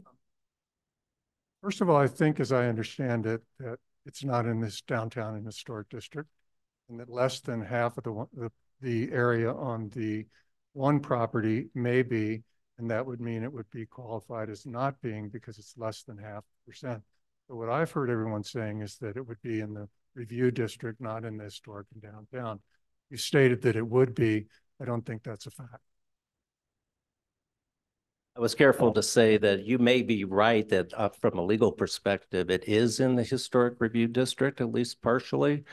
Um, but I was saying that there are other provisions in the code that still require us to have harmony with the downtown and east side district, including harmony with the adjacent buildings, which does bring us right back to needing to apply um, streetscape standards, in my view.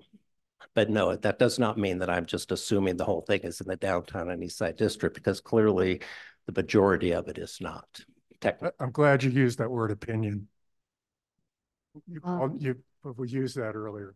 But also something to remember is these two properties have eleven percent and twelve percent coverage of their lot size. That's pretty minimal for being massive and covered, not having a lot of open space. A, it's a big lot.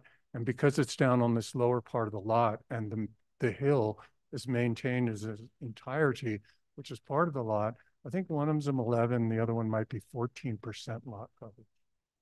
Not much when you're allowed 65%. Yes, Heather. Just one question for Mr. McDowell, um, in terms of the lot coverage, is that lot coverage of the buildable area or is it of the? Total lot coverage of the buildings on the lot. Okay, all right, because there is some area in a escarpment district that is not. Correct. Member Biedscheid? Thank you, Madam Chair. I just have a couple of clarifying questions for staff, um, and please weigh in too, Mr. McDowell. Um, with respect to the allowable height, is it, could you remind me if the fireplace is exempt from that? Chair Rios, member, um, sorry, member Biedscheid, uh, that is correct. Okay. And then, um, with respect to the pitch roof calculation, um, I think the, the determination was that fifteen percent of the properties in this, the defined area have pitched roofs. If, if we were to allow both of these projects to move forward, how would that percentage change? Would would that then exceed fifty percent? Would you count however many, with, if there's eight buildings, um, would you count each of those as toward the, the percentage calculation in the future? Rios, um, member Biedscheid, no, we would not, because they're not historic. And will be built after that date of nineteen. Okay, so the fifteen percent would remain the same, even though we, okay. And then, um, can we talk about the visibility from Canyon Road for both projects? Um, I think they, they're behind properties that front Canyon Road, if I understand correctly. So if someone could speak, I know there's um, an image and a rendering in the packet too that seems to try to show what we'll see from Canyon Road, but we could just talk about how much of the projects are visible from Canyon. That would be helpful. Rios member Biedscheid, um, the, there are two single story houses that are in front of these homes. The, the terrain actually goes higher than Canyon Road itself. One thing Mr. McDowell was referring to trees, which can be effective at screening buildings. But in the case of the historic districts ordinance, we really don't count trees or like we had the conversation about the coyote fence as something that um, is that because it can be removed is not part of the consideration. I could also comment, the houses will be, as the hill is sloping up, houses will be cut in fairly significantly in the back. So that they don't stick up behind the higher part. And will you see both houses from Canyon Road? Yes, that's correct. So if you're viewing from Canyon Road, lots are going uphill. So if you're looking at the front of the house, the back of the house, back of the house. Got it. Thank you. Oh, and sorry, one more question. Um, what is our authority or um ability to address pools, which I think might be considered landscaping? Is is is that within our purview at all? Chair Rios, uh, member Biedscheid, no, that's not within the purview, although you can encourage the applicant to be more water wise. And it may be difficult. I'm not sure if there's been any conversation with the utilities division of city, but um, the water department might have some concerns about the amount of water and potential offset that would be needed or water rights that might be needed. Thank you. I certainly think it's a point that I would be welcome to take up with the owners. Maybe consider an acequia fed pool. Member Biedscheid. Anyone else before we go to public comment? Anyone from the public here wishing to speak on this project, please come forward. If there's more than one of you, uh, you can get sworn in at the same time. Chair Rios, if I might point out, there were also some letters that were left on your desk that we received through. Thank you. Um, I'll ask you to summarize those after a while. I haven't read them. You will need to get sworn in, sir. You can state your name and your address, please. My name is Terrence Padilla, uh, address fifteen ninety-four Upper Canyon Road. Thank you, Mr. Padilla. Do you solemnly declare and affirm that the testimony you have in reference to this item shall be the truth and nothing but the truth under the penalty of perjury? Madam Chair, Mr. Padilla is sworn. Good evening. uh, Good evening, and speak right into that mic. Good evening, Please. Madam Chair and uh, yeah, the rest of the board. Um, We have concerns, um, and I have a list of them here. I'm just gonna try to read them off. Uh, Some of them you, you've addressed already. So uh, first of all, um, we're directly north of the property and adjacent to uh, fifteen ninety-six.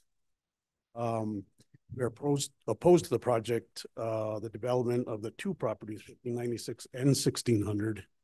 Based on the architectural design, the pitched roofs are something that we're really concerned with.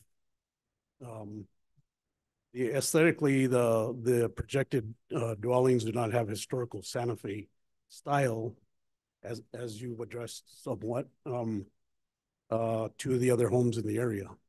Um, the, the other homes in the area are obviously parapet and, uh, you know, stucco designed with flat roofs.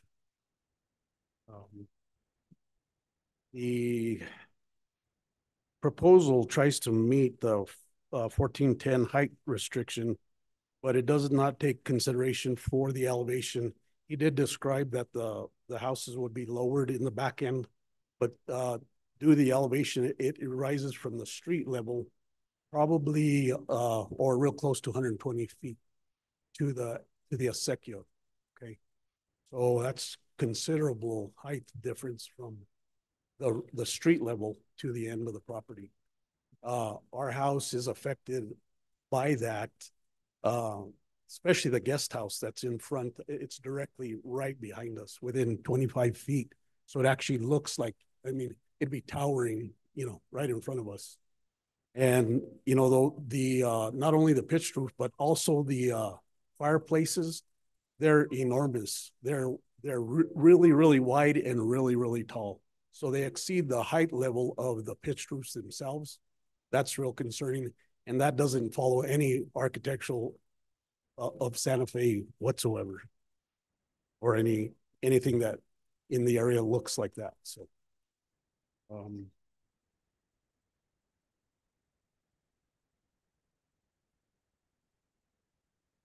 Your two minutes are up, but if you'd like to say, finish your comments, uh, Okay, so. You may. Basically, we're opposed to uh, that and also the water features, evaporation, you know, Santa Fe, you know, we should all be concerned about water.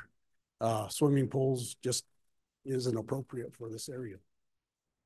thank you, Mr. Padilla, very much for your comments.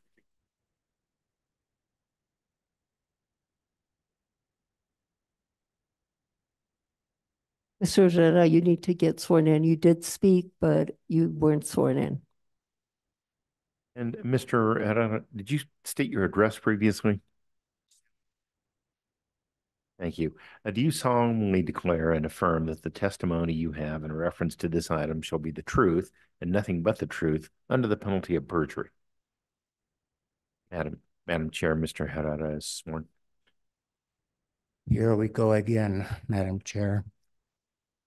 Uh, you know, the historic district was established for a reason to keep Santa Fe historic as far as uh, our or okay, here we go. In order to honor our ancestors and our parents and grandparents. A lot of uh, our relatives were born and raised on Canyon Road, and um, we talk about northern New Mexico homes. While we were talking about Betty Stewart, we were talking ab- about a few others here in town in Tesuque. Uh, these were regular Betty Stewart homes two thousand square feet per se. And they were in the northern New Mexico style. This thing belongs in Aspen, Color- Colorado, or or down south in Galisteo, or where we have space for a ranch house. And this is more or less what this represents. A typical ranch house with all kinds of buildings connected to it. The architecture doesn't fit any part of Santa Fe, as far as I'm concerned, even though some people uh, have been trying to change the uh, character of Santa Fe, which I object to, but uh, that's another issue. And also the thing about swimming pools, that's ridiculous. For anyone to think of putting a swimming pool and I thought it had been outlawed. Maybe Mayor Webber brought it back into perspective, but um, at one point it was out loud and it should be with the water situation the way it is and everything. So I urge the board to deny this request with all due respect to Mr. McDowell. And uh, let's proceed in protecting what we have. Thank you. Thank you, Mr. Ojeda. Anyone else in this room wishing to speak in reference to these two projects? It appears not. Anyone on Zoom? Yes, Chair Rios, uh, moment. Adrian, um, please, you may unmute and, um, please state your name and address for the record and Frank will swear you in. Yes, good evening. Thank you so much. Uh, my name is Adrian Oglesby, and my wife Maxine Paul and I own the house at 1600 Canyon Road. Uh, my uh, our our address is actually 2103 Los Luceros Road in Albuquerque. Um, we're currently renting the house while we're um, trying to become wealthy enough to afford to live in it. This will be our retirement home, and we hope to move there as soon as possible. Thank you. Mr. Oglesby, do you solemnly mm-hmm. declare and affirm that the testimony you have in reference to this item shall be the truth and nothing but the truth under the penalty of perjury? Most certainly do. Go ahead, sir. You have the floor. Okay, thank you, uh, Chair Rios and members of the board. Um, and with all due respect to my future neighbors, who I hope to have a wonderful relationship with, um, we uh, join Mr. Padilla uh, in um, opposing this development as it currently is designed. Um, I, I, personally love a good pitched roof. I understand the value of it. Our skylights at 1600 leak constantly due to the the, the low uh, profile. Um, and uh, certainly, if you approve his the, these pitch roofs, I'll be saving my money and coming to you and trying to get one myself. Um, but but overall, I, think um, our, opposition is based on the scale of this development. Uh, the overall scale is, out of keeping with the community. It's very dense. And while I respect Mr. McDowell's math in saying that it's only 10 or 11% of the developable space, uh, from the north side of the acequia up is completely undevelopable. It's very steep land. And um, so really this is cramming a bunch of square footage onto as, uh, as much as possible onto um, the footprint of this land. Uh, I, I, appreciate the, the style of the massive walls. I think that is in keeping, but they're very modern in style. Uh, I think Mr. McDowell was right. This style of, of house would, would look great down in South Texas um, but uh, seems very out of keeping with um, the community that we moved into and, and, love because of its historic nature. We'll be the ones staring at this property, um, you know, every day out of our back window. Um, just to reinforce what staff has already told you, you know, the windows and doors are not inset. We've got a gray graphite roof that's not, you know, traditional corrugated tin as you would see in New Mexico alternating colors, modern lights, doors, windows, rain chains. These are all things that I, I do not see in our neighborhood as, as I walk around. Um, I, I will, as, as a commissioner on the Acequia del Llano and a Parciante, uh, I just want to state for the record and make it clearly understood that Acequia water is not to be used for swimming pools. It is only allowed to be used for irrigation. And so I hope that there is no intention right, of using our precious and finish your thought. I most certainly will. Thank you, ma'am. Um, so in closing, I would just say that um, this is, you know, a, a, beautiful but, but very modern and contemporary property uh, that's being proposed, not historic in spirit and certainly not in harmony with the community that we have now. Thank you very much. Thank you very much. Anyone else? Heather. Yes, Chair Rios, Stephanie Beninato. And I believe you have been sworn. No, she's been sworn in. Yes, I have been sworn in. Can you hear me? Yes. I Great. hope we can hear you throughout. If you could you just like raise your hand, please, Miss Rios, if you stop hearing me so I could try to like adjust my mic and see if I could get back to being heard. Anyway, I support uh much of the um What you're doing right now, we can hear you. Then Okay. for some reason, your voice just fades. Okay, so I uh I support much of the concerns that have been expressed through uh, member Bienvenu, for example, uh, member Aguilar Madrano, and uh, the speakers who are in close proximity. Too much metal, too contemporary, um, not at all Santa Fe style. Uh, although there's massive walls, again, it just it just doesn't fit in at all. And um, and the swimming pools too. Again, I know you don't have any say on that, but it just shows a, a complete disregard for the environment and for the community, in in my opinion.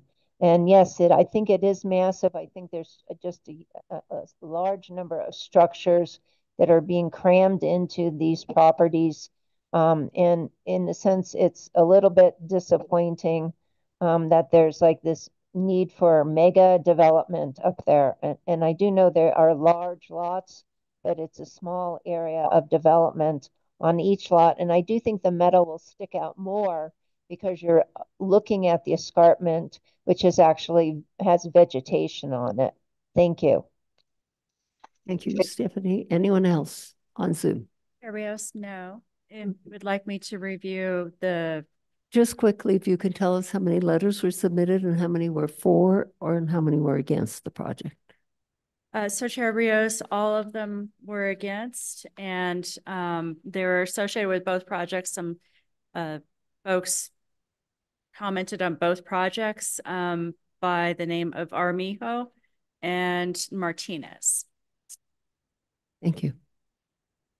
So, um, board members, if you have no further comments, uh, member, yes, member Biedscheid.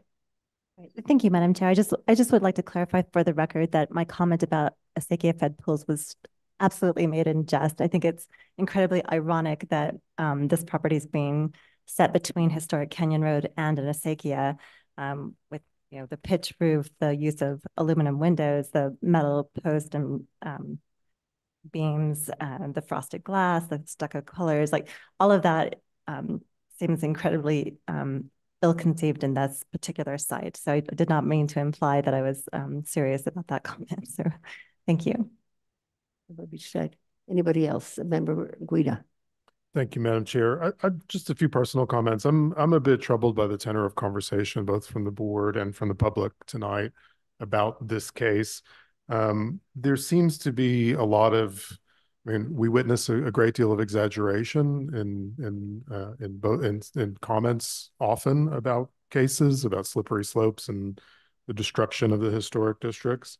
Um, to hear it coming from the board, to hear an inflation of the square footage of repeatedly of the pools, of the number of structures, um, of the comparison of a well-designed project like this one to builder schlock that we see on um, on on uh, on Galisteo and Cordova, uh, which is a terrible house outside of the historic district. Um, the um, the mischaracterization characterization of the style. Um, I'm really, as an architect, as a preservation architect, as a member of this community, I'm I'm really dismayed by that level of exaggeration, mischaracterization, what I feel is really intolerance uh, of good design. Um, what this case really comes down to um, is is the district that it's in, which is the review district. And as I recall, the review district we have reviewed and have seen and is home to mid-century interpretations of Santa Fe style. Um, uh, we have sat in this room and reviewed uh, a, a, medieval castle proposal um, from one of the most prominent members of our community, uh, which wasn't which was which didn't have to pursue a style exception necessarily because there are no style requirements in the review district. There is no Santa Fe style articulated um, in the district review requirements. It is simply wall dominated um, and, and so on and so forth. I think that, you know, any attempt to kind of push this into the downtown and east side historic district is disingenuous. The code is very clear. The, um, the height considerations from that district apply to this. There's a, there's a, there's a special code section and we've read that tonight. And the applicant is acknowledging and following those height exceptions.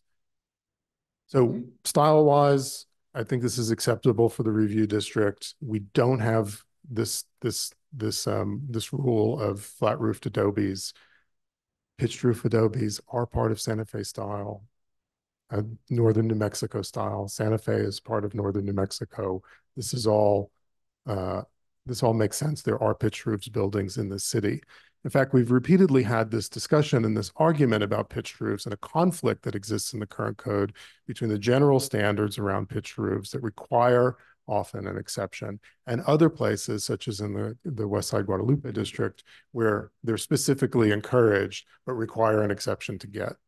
And so, you know, a consideration of pitched roofs in this case seems to make sense. I mean, it would seem to me that the board could entertain a notion of pitched roofs in this case. The 300 foot rule uh, doesn't really apply because these are enormous parcels. The streetscape rule doesn't apply, but I think the applicant has done an admirable job of showing where those pitched roofs um, exist so that we can get closer to satisf satisfying a very, a very um, restrictive and flawed ordinance in this particular case.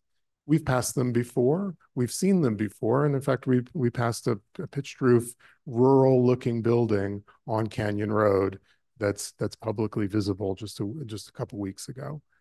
I think, you know, the, um, you know, this notion of rural and the association of pitched roof adobes with it makes sense for where this is located. Um, I don't think it harms the character of the district on Canyon Road because that is, is well maintained by the buildings that are there. So, uh, you know, I really question, you know, I, I, think we have a way forward. I would argue that we have a way forward on the pitched roof discussion and granting an exception. You know, I understand this is a big house. I'm not arguing for, you know, fairness and equity tonight and that, that I often do. You know, this is rich people and building big houses. Um, you know, but that's, this is, this is how we get there by a restrictive and exclusionary zoning ordinance and by this kind of continued um, pushing against um, applicants and against good design in the districts to exclude, exclude, exclude. I'd like to remind folks that the reason why we even have a historic districts ordinance is because of the work of the 20th century that was done in Santa Fe, which was done by designers, which was innovated, invented here, and evolved over the course of the 20th century. In other words, the Santa Fe style was created for tourism and for economic development at a time when we didn't have those things. And we relied on architects and people with vision for creating new buildings and evolving a style that is related to this place, but not necessarily of this place. Um, preservation is an act of, of, of cultural preservation. The idea that we would exclude and make it more difficult to do good design in Santa Fe is highly problematic and antithetical to the reason why we have a, a district code. Thank you. I want to say a couple of things. Um, when people come, take their time to come and speak before this board, I think we on this board need to respect people's comments. Um, I think a lot of those people that spoke here this evening are longtime Santa Feans. They have lived here for a long time.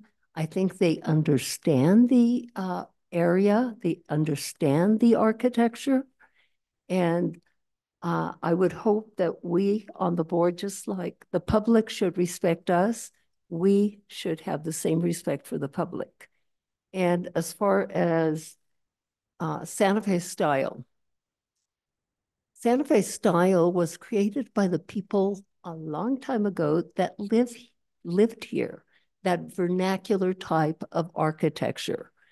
They used the, uh, the materials that were, that are, uh, that surrounded us. They made adobes out of the, the dirt that surrounded us and they used vigas because that's what we had. Then later on, when the train came through here, uh, then uh, we had bricks that we could make uh, territorial style also came into being. But my main, main message is that I think we all have opinions and um, we all need to respect one another. I think that particularly in this day and age, um, and I certainly feel that that is something that we all need to do towards one another. Respect your opinion. With that being said, if there's nothing further to state, uh, I will entertain a motion.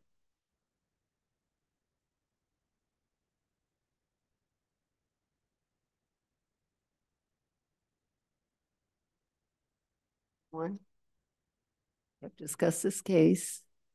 Cases, I will entertain a motion actually for the first case, which is located at fifteen ninety-six Canyon Road.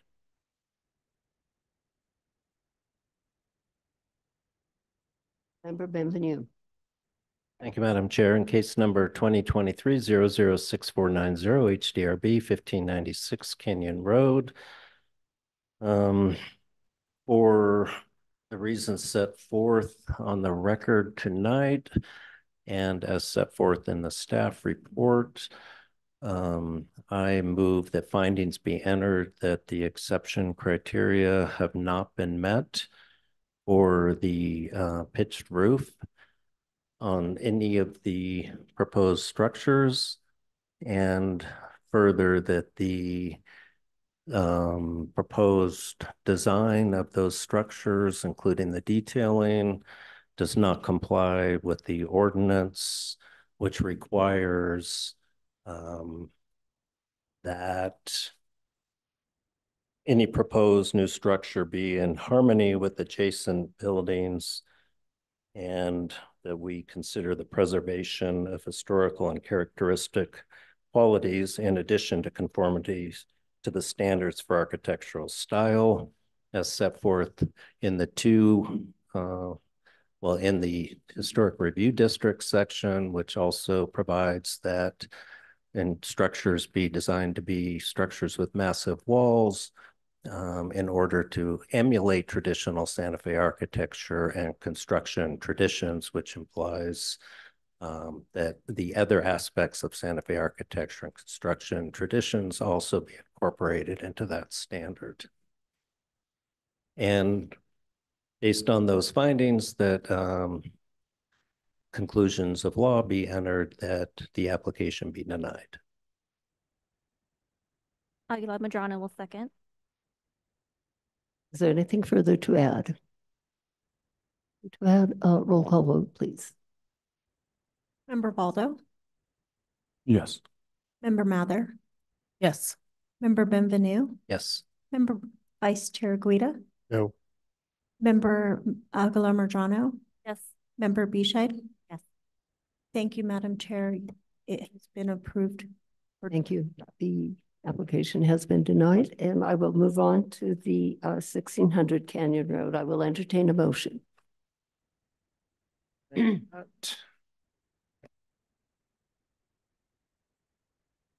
you, Madam Chair. In case number twenty twenty-three zero zero six five six five HDRB sixteen hundred Canyon Road, I move that um, the uh, same findings be entered and the same conclusion of law be adopted by the board as was set forth for fifteen ninety-six Canyon Road and for the same reasons.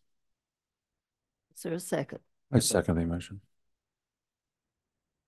Anything further to add? No? Roll call vote, please. Member Biedscheid, Yes. Member Aguilar Madrano. Yes. Vice Chair Guida, No. Member Bienvenu, Yes. Member Mather, Yes. Member Baldo. Yes. Thank you, Madam Chair. It has been approved for denial. Thank you. Thank you, Mr. McDowell. We will move on to the next case this evening, which is located at, oh, the last case this evening at uh ten seventy-two Camino San Acacio. And I see that the applicant is here and uh Gary, I'll give the people like a few seconds to clear the room. And then you can give us your um case presentation.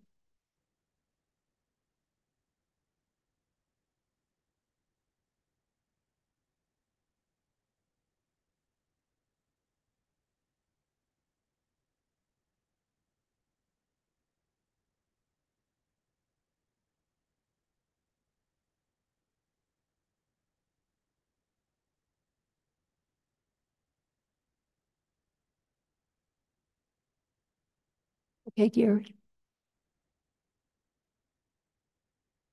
Rios members of the H board, uh, case number twenty twenty-four zero zero seven nine nine four HDRB is uh ten seventy-two Camino San Acacio for a remodel. Ten seventy-two Camino San Acacio is on the south side of the road just west of Camino de Lora. Single-family residence located at ten seventy-two San Acacio is listed as non-contributing in the downtown Eastside Historic District.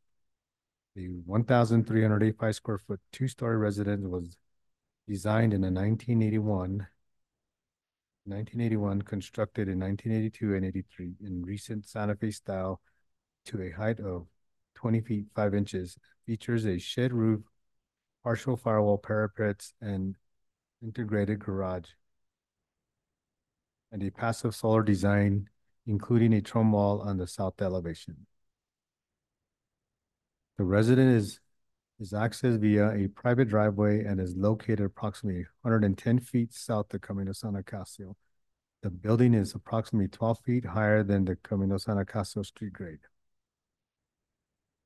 In 19 to 1996, under case H 96 057, the H HDRB approved the construction of a 662 square feet Spanish Pueblo style guest house on the northern portion of the property adjacent to Camino San Acacio. No other cases were found in the Historic Preservation Division records. Additionally, the property contains a garden shed and a storage shed. The applicant has shared these historic architectural elevations, the original designs of the, the house in 1981. The applicant proposed the following exterior alterations. Construct a seventy-nine square foot addition on the north elevation to a height of eleven feet four inches where the maximum allowable height is sixteen feet three inches to the main residence. Two painted wood, wood casement windows on the north side of the addition will match the existing window trim paint in Dunn Edwards blue spruce.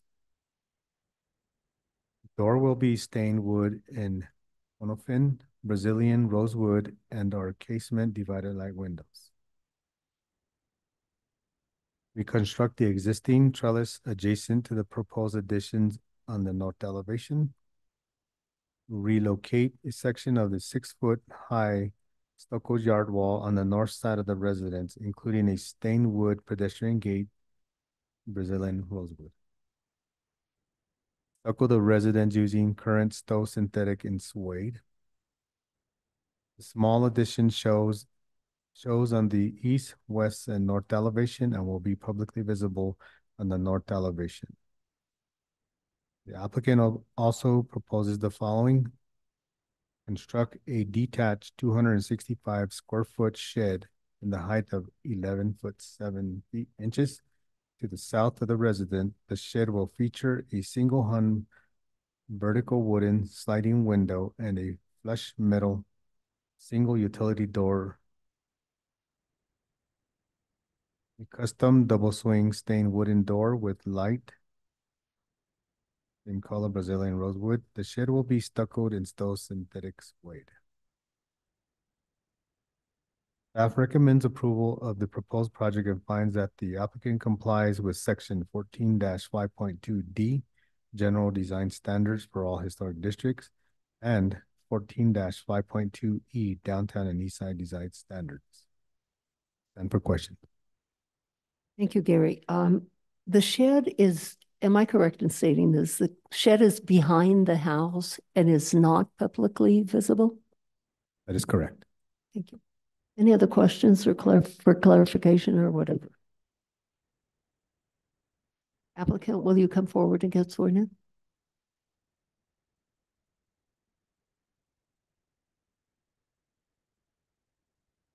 You state your name and address, please. My name is Jacob Kaltenbach, one zero seven two Camino San Acacio. Thank you.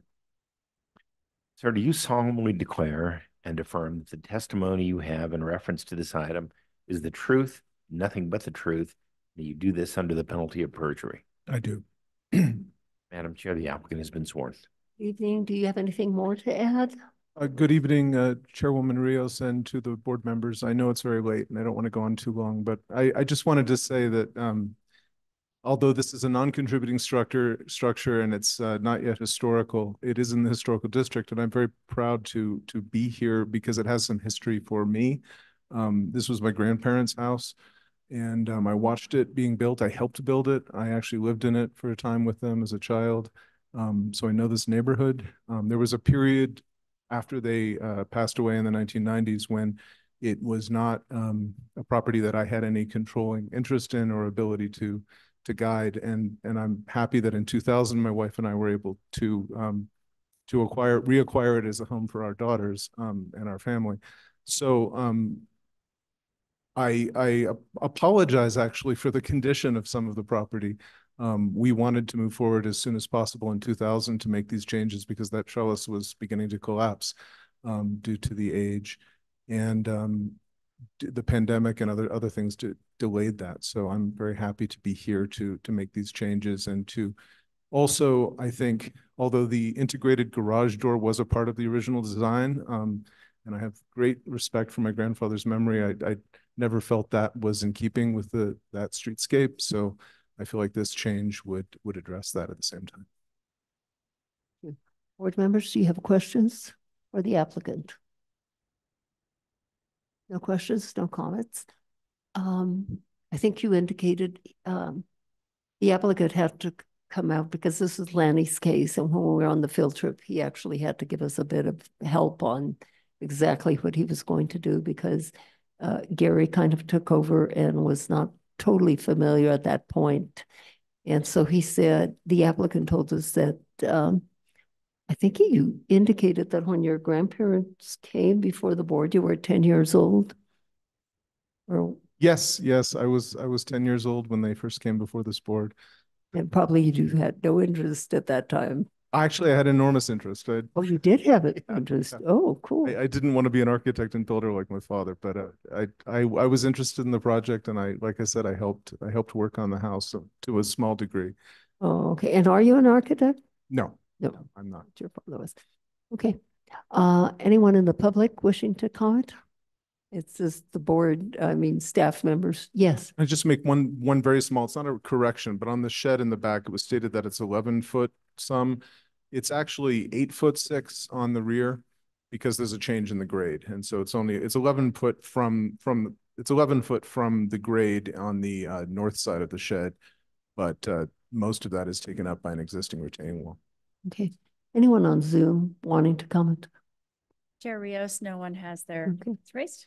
Board members, you, uh, looks like you don't have any questions and I will entertain a motion, please. Madam Chair, I'll make a motion. Yes. Um, case twenty twenty-four zero zero seven nine nine four HDRB ten seventy-two Camino San Acacio. Uh, I move that the board approve, uh, the project as submitted in line with staff recommendations. Aguilar Madrano, second. Roll call vote, please. Member Baldo. Yes. Member Mather, Yes. member Bienvenu. Yes. Vice Chair Guida, Yes.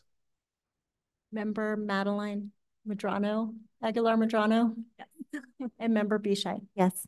Madam Chair, it's been approved. Okay, thank you. Thank you, sir. Good luck on your project. Thank you very much. Full house. Um, discussion items, anything under discussion items? Chair Rios, no, we discussed the preservation awards. Uh, Just one quick clarification, what date is that? May 9th? May 9th. Yes, and it'll be at the San Miguel Chapel.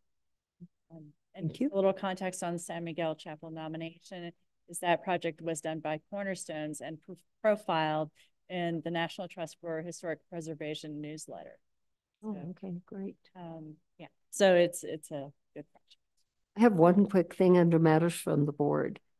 So I need a clarification. So members Biedscheid and Bienvenu were appointed to a subcommittee uh, in reference, I thought it was, to the um, state uh, capital project. Uh, are they a subcommittee to any state project? Rios, um, no, we did talk about one project at the Acequia Madre School. Oh, okay, that's where was the- this all comes in. Right, and, and so that Mr. Molino should have emailed them the drawings for any potential comments or concerns. And um, then only for the state capitol, I, I'm sorry, the executive office building project. Right. uh, Which includes the demolition of the four bungalows. Just so that you know, um, the state invoked the state statute that requires the local um, and state uh, commission to review the project. We uh, will need to get a vote from the board, but not at this time. We met with the um, Ana Silva, um, the counsel for the state. Um,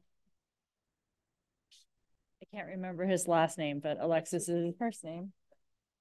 Johnson. Um, and then Frank uh, Rubelid, as well as Aaron McSherry were there, and I was there, and J Jason Fluke.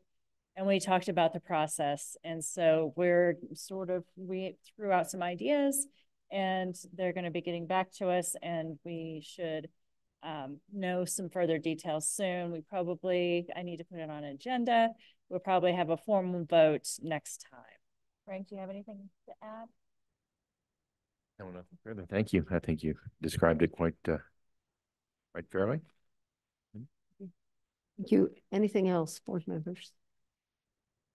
Reach today.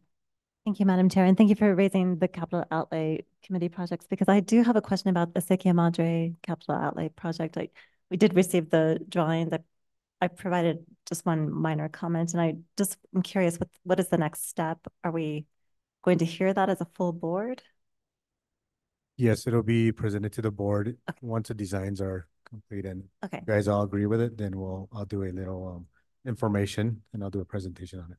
Okay, thank you.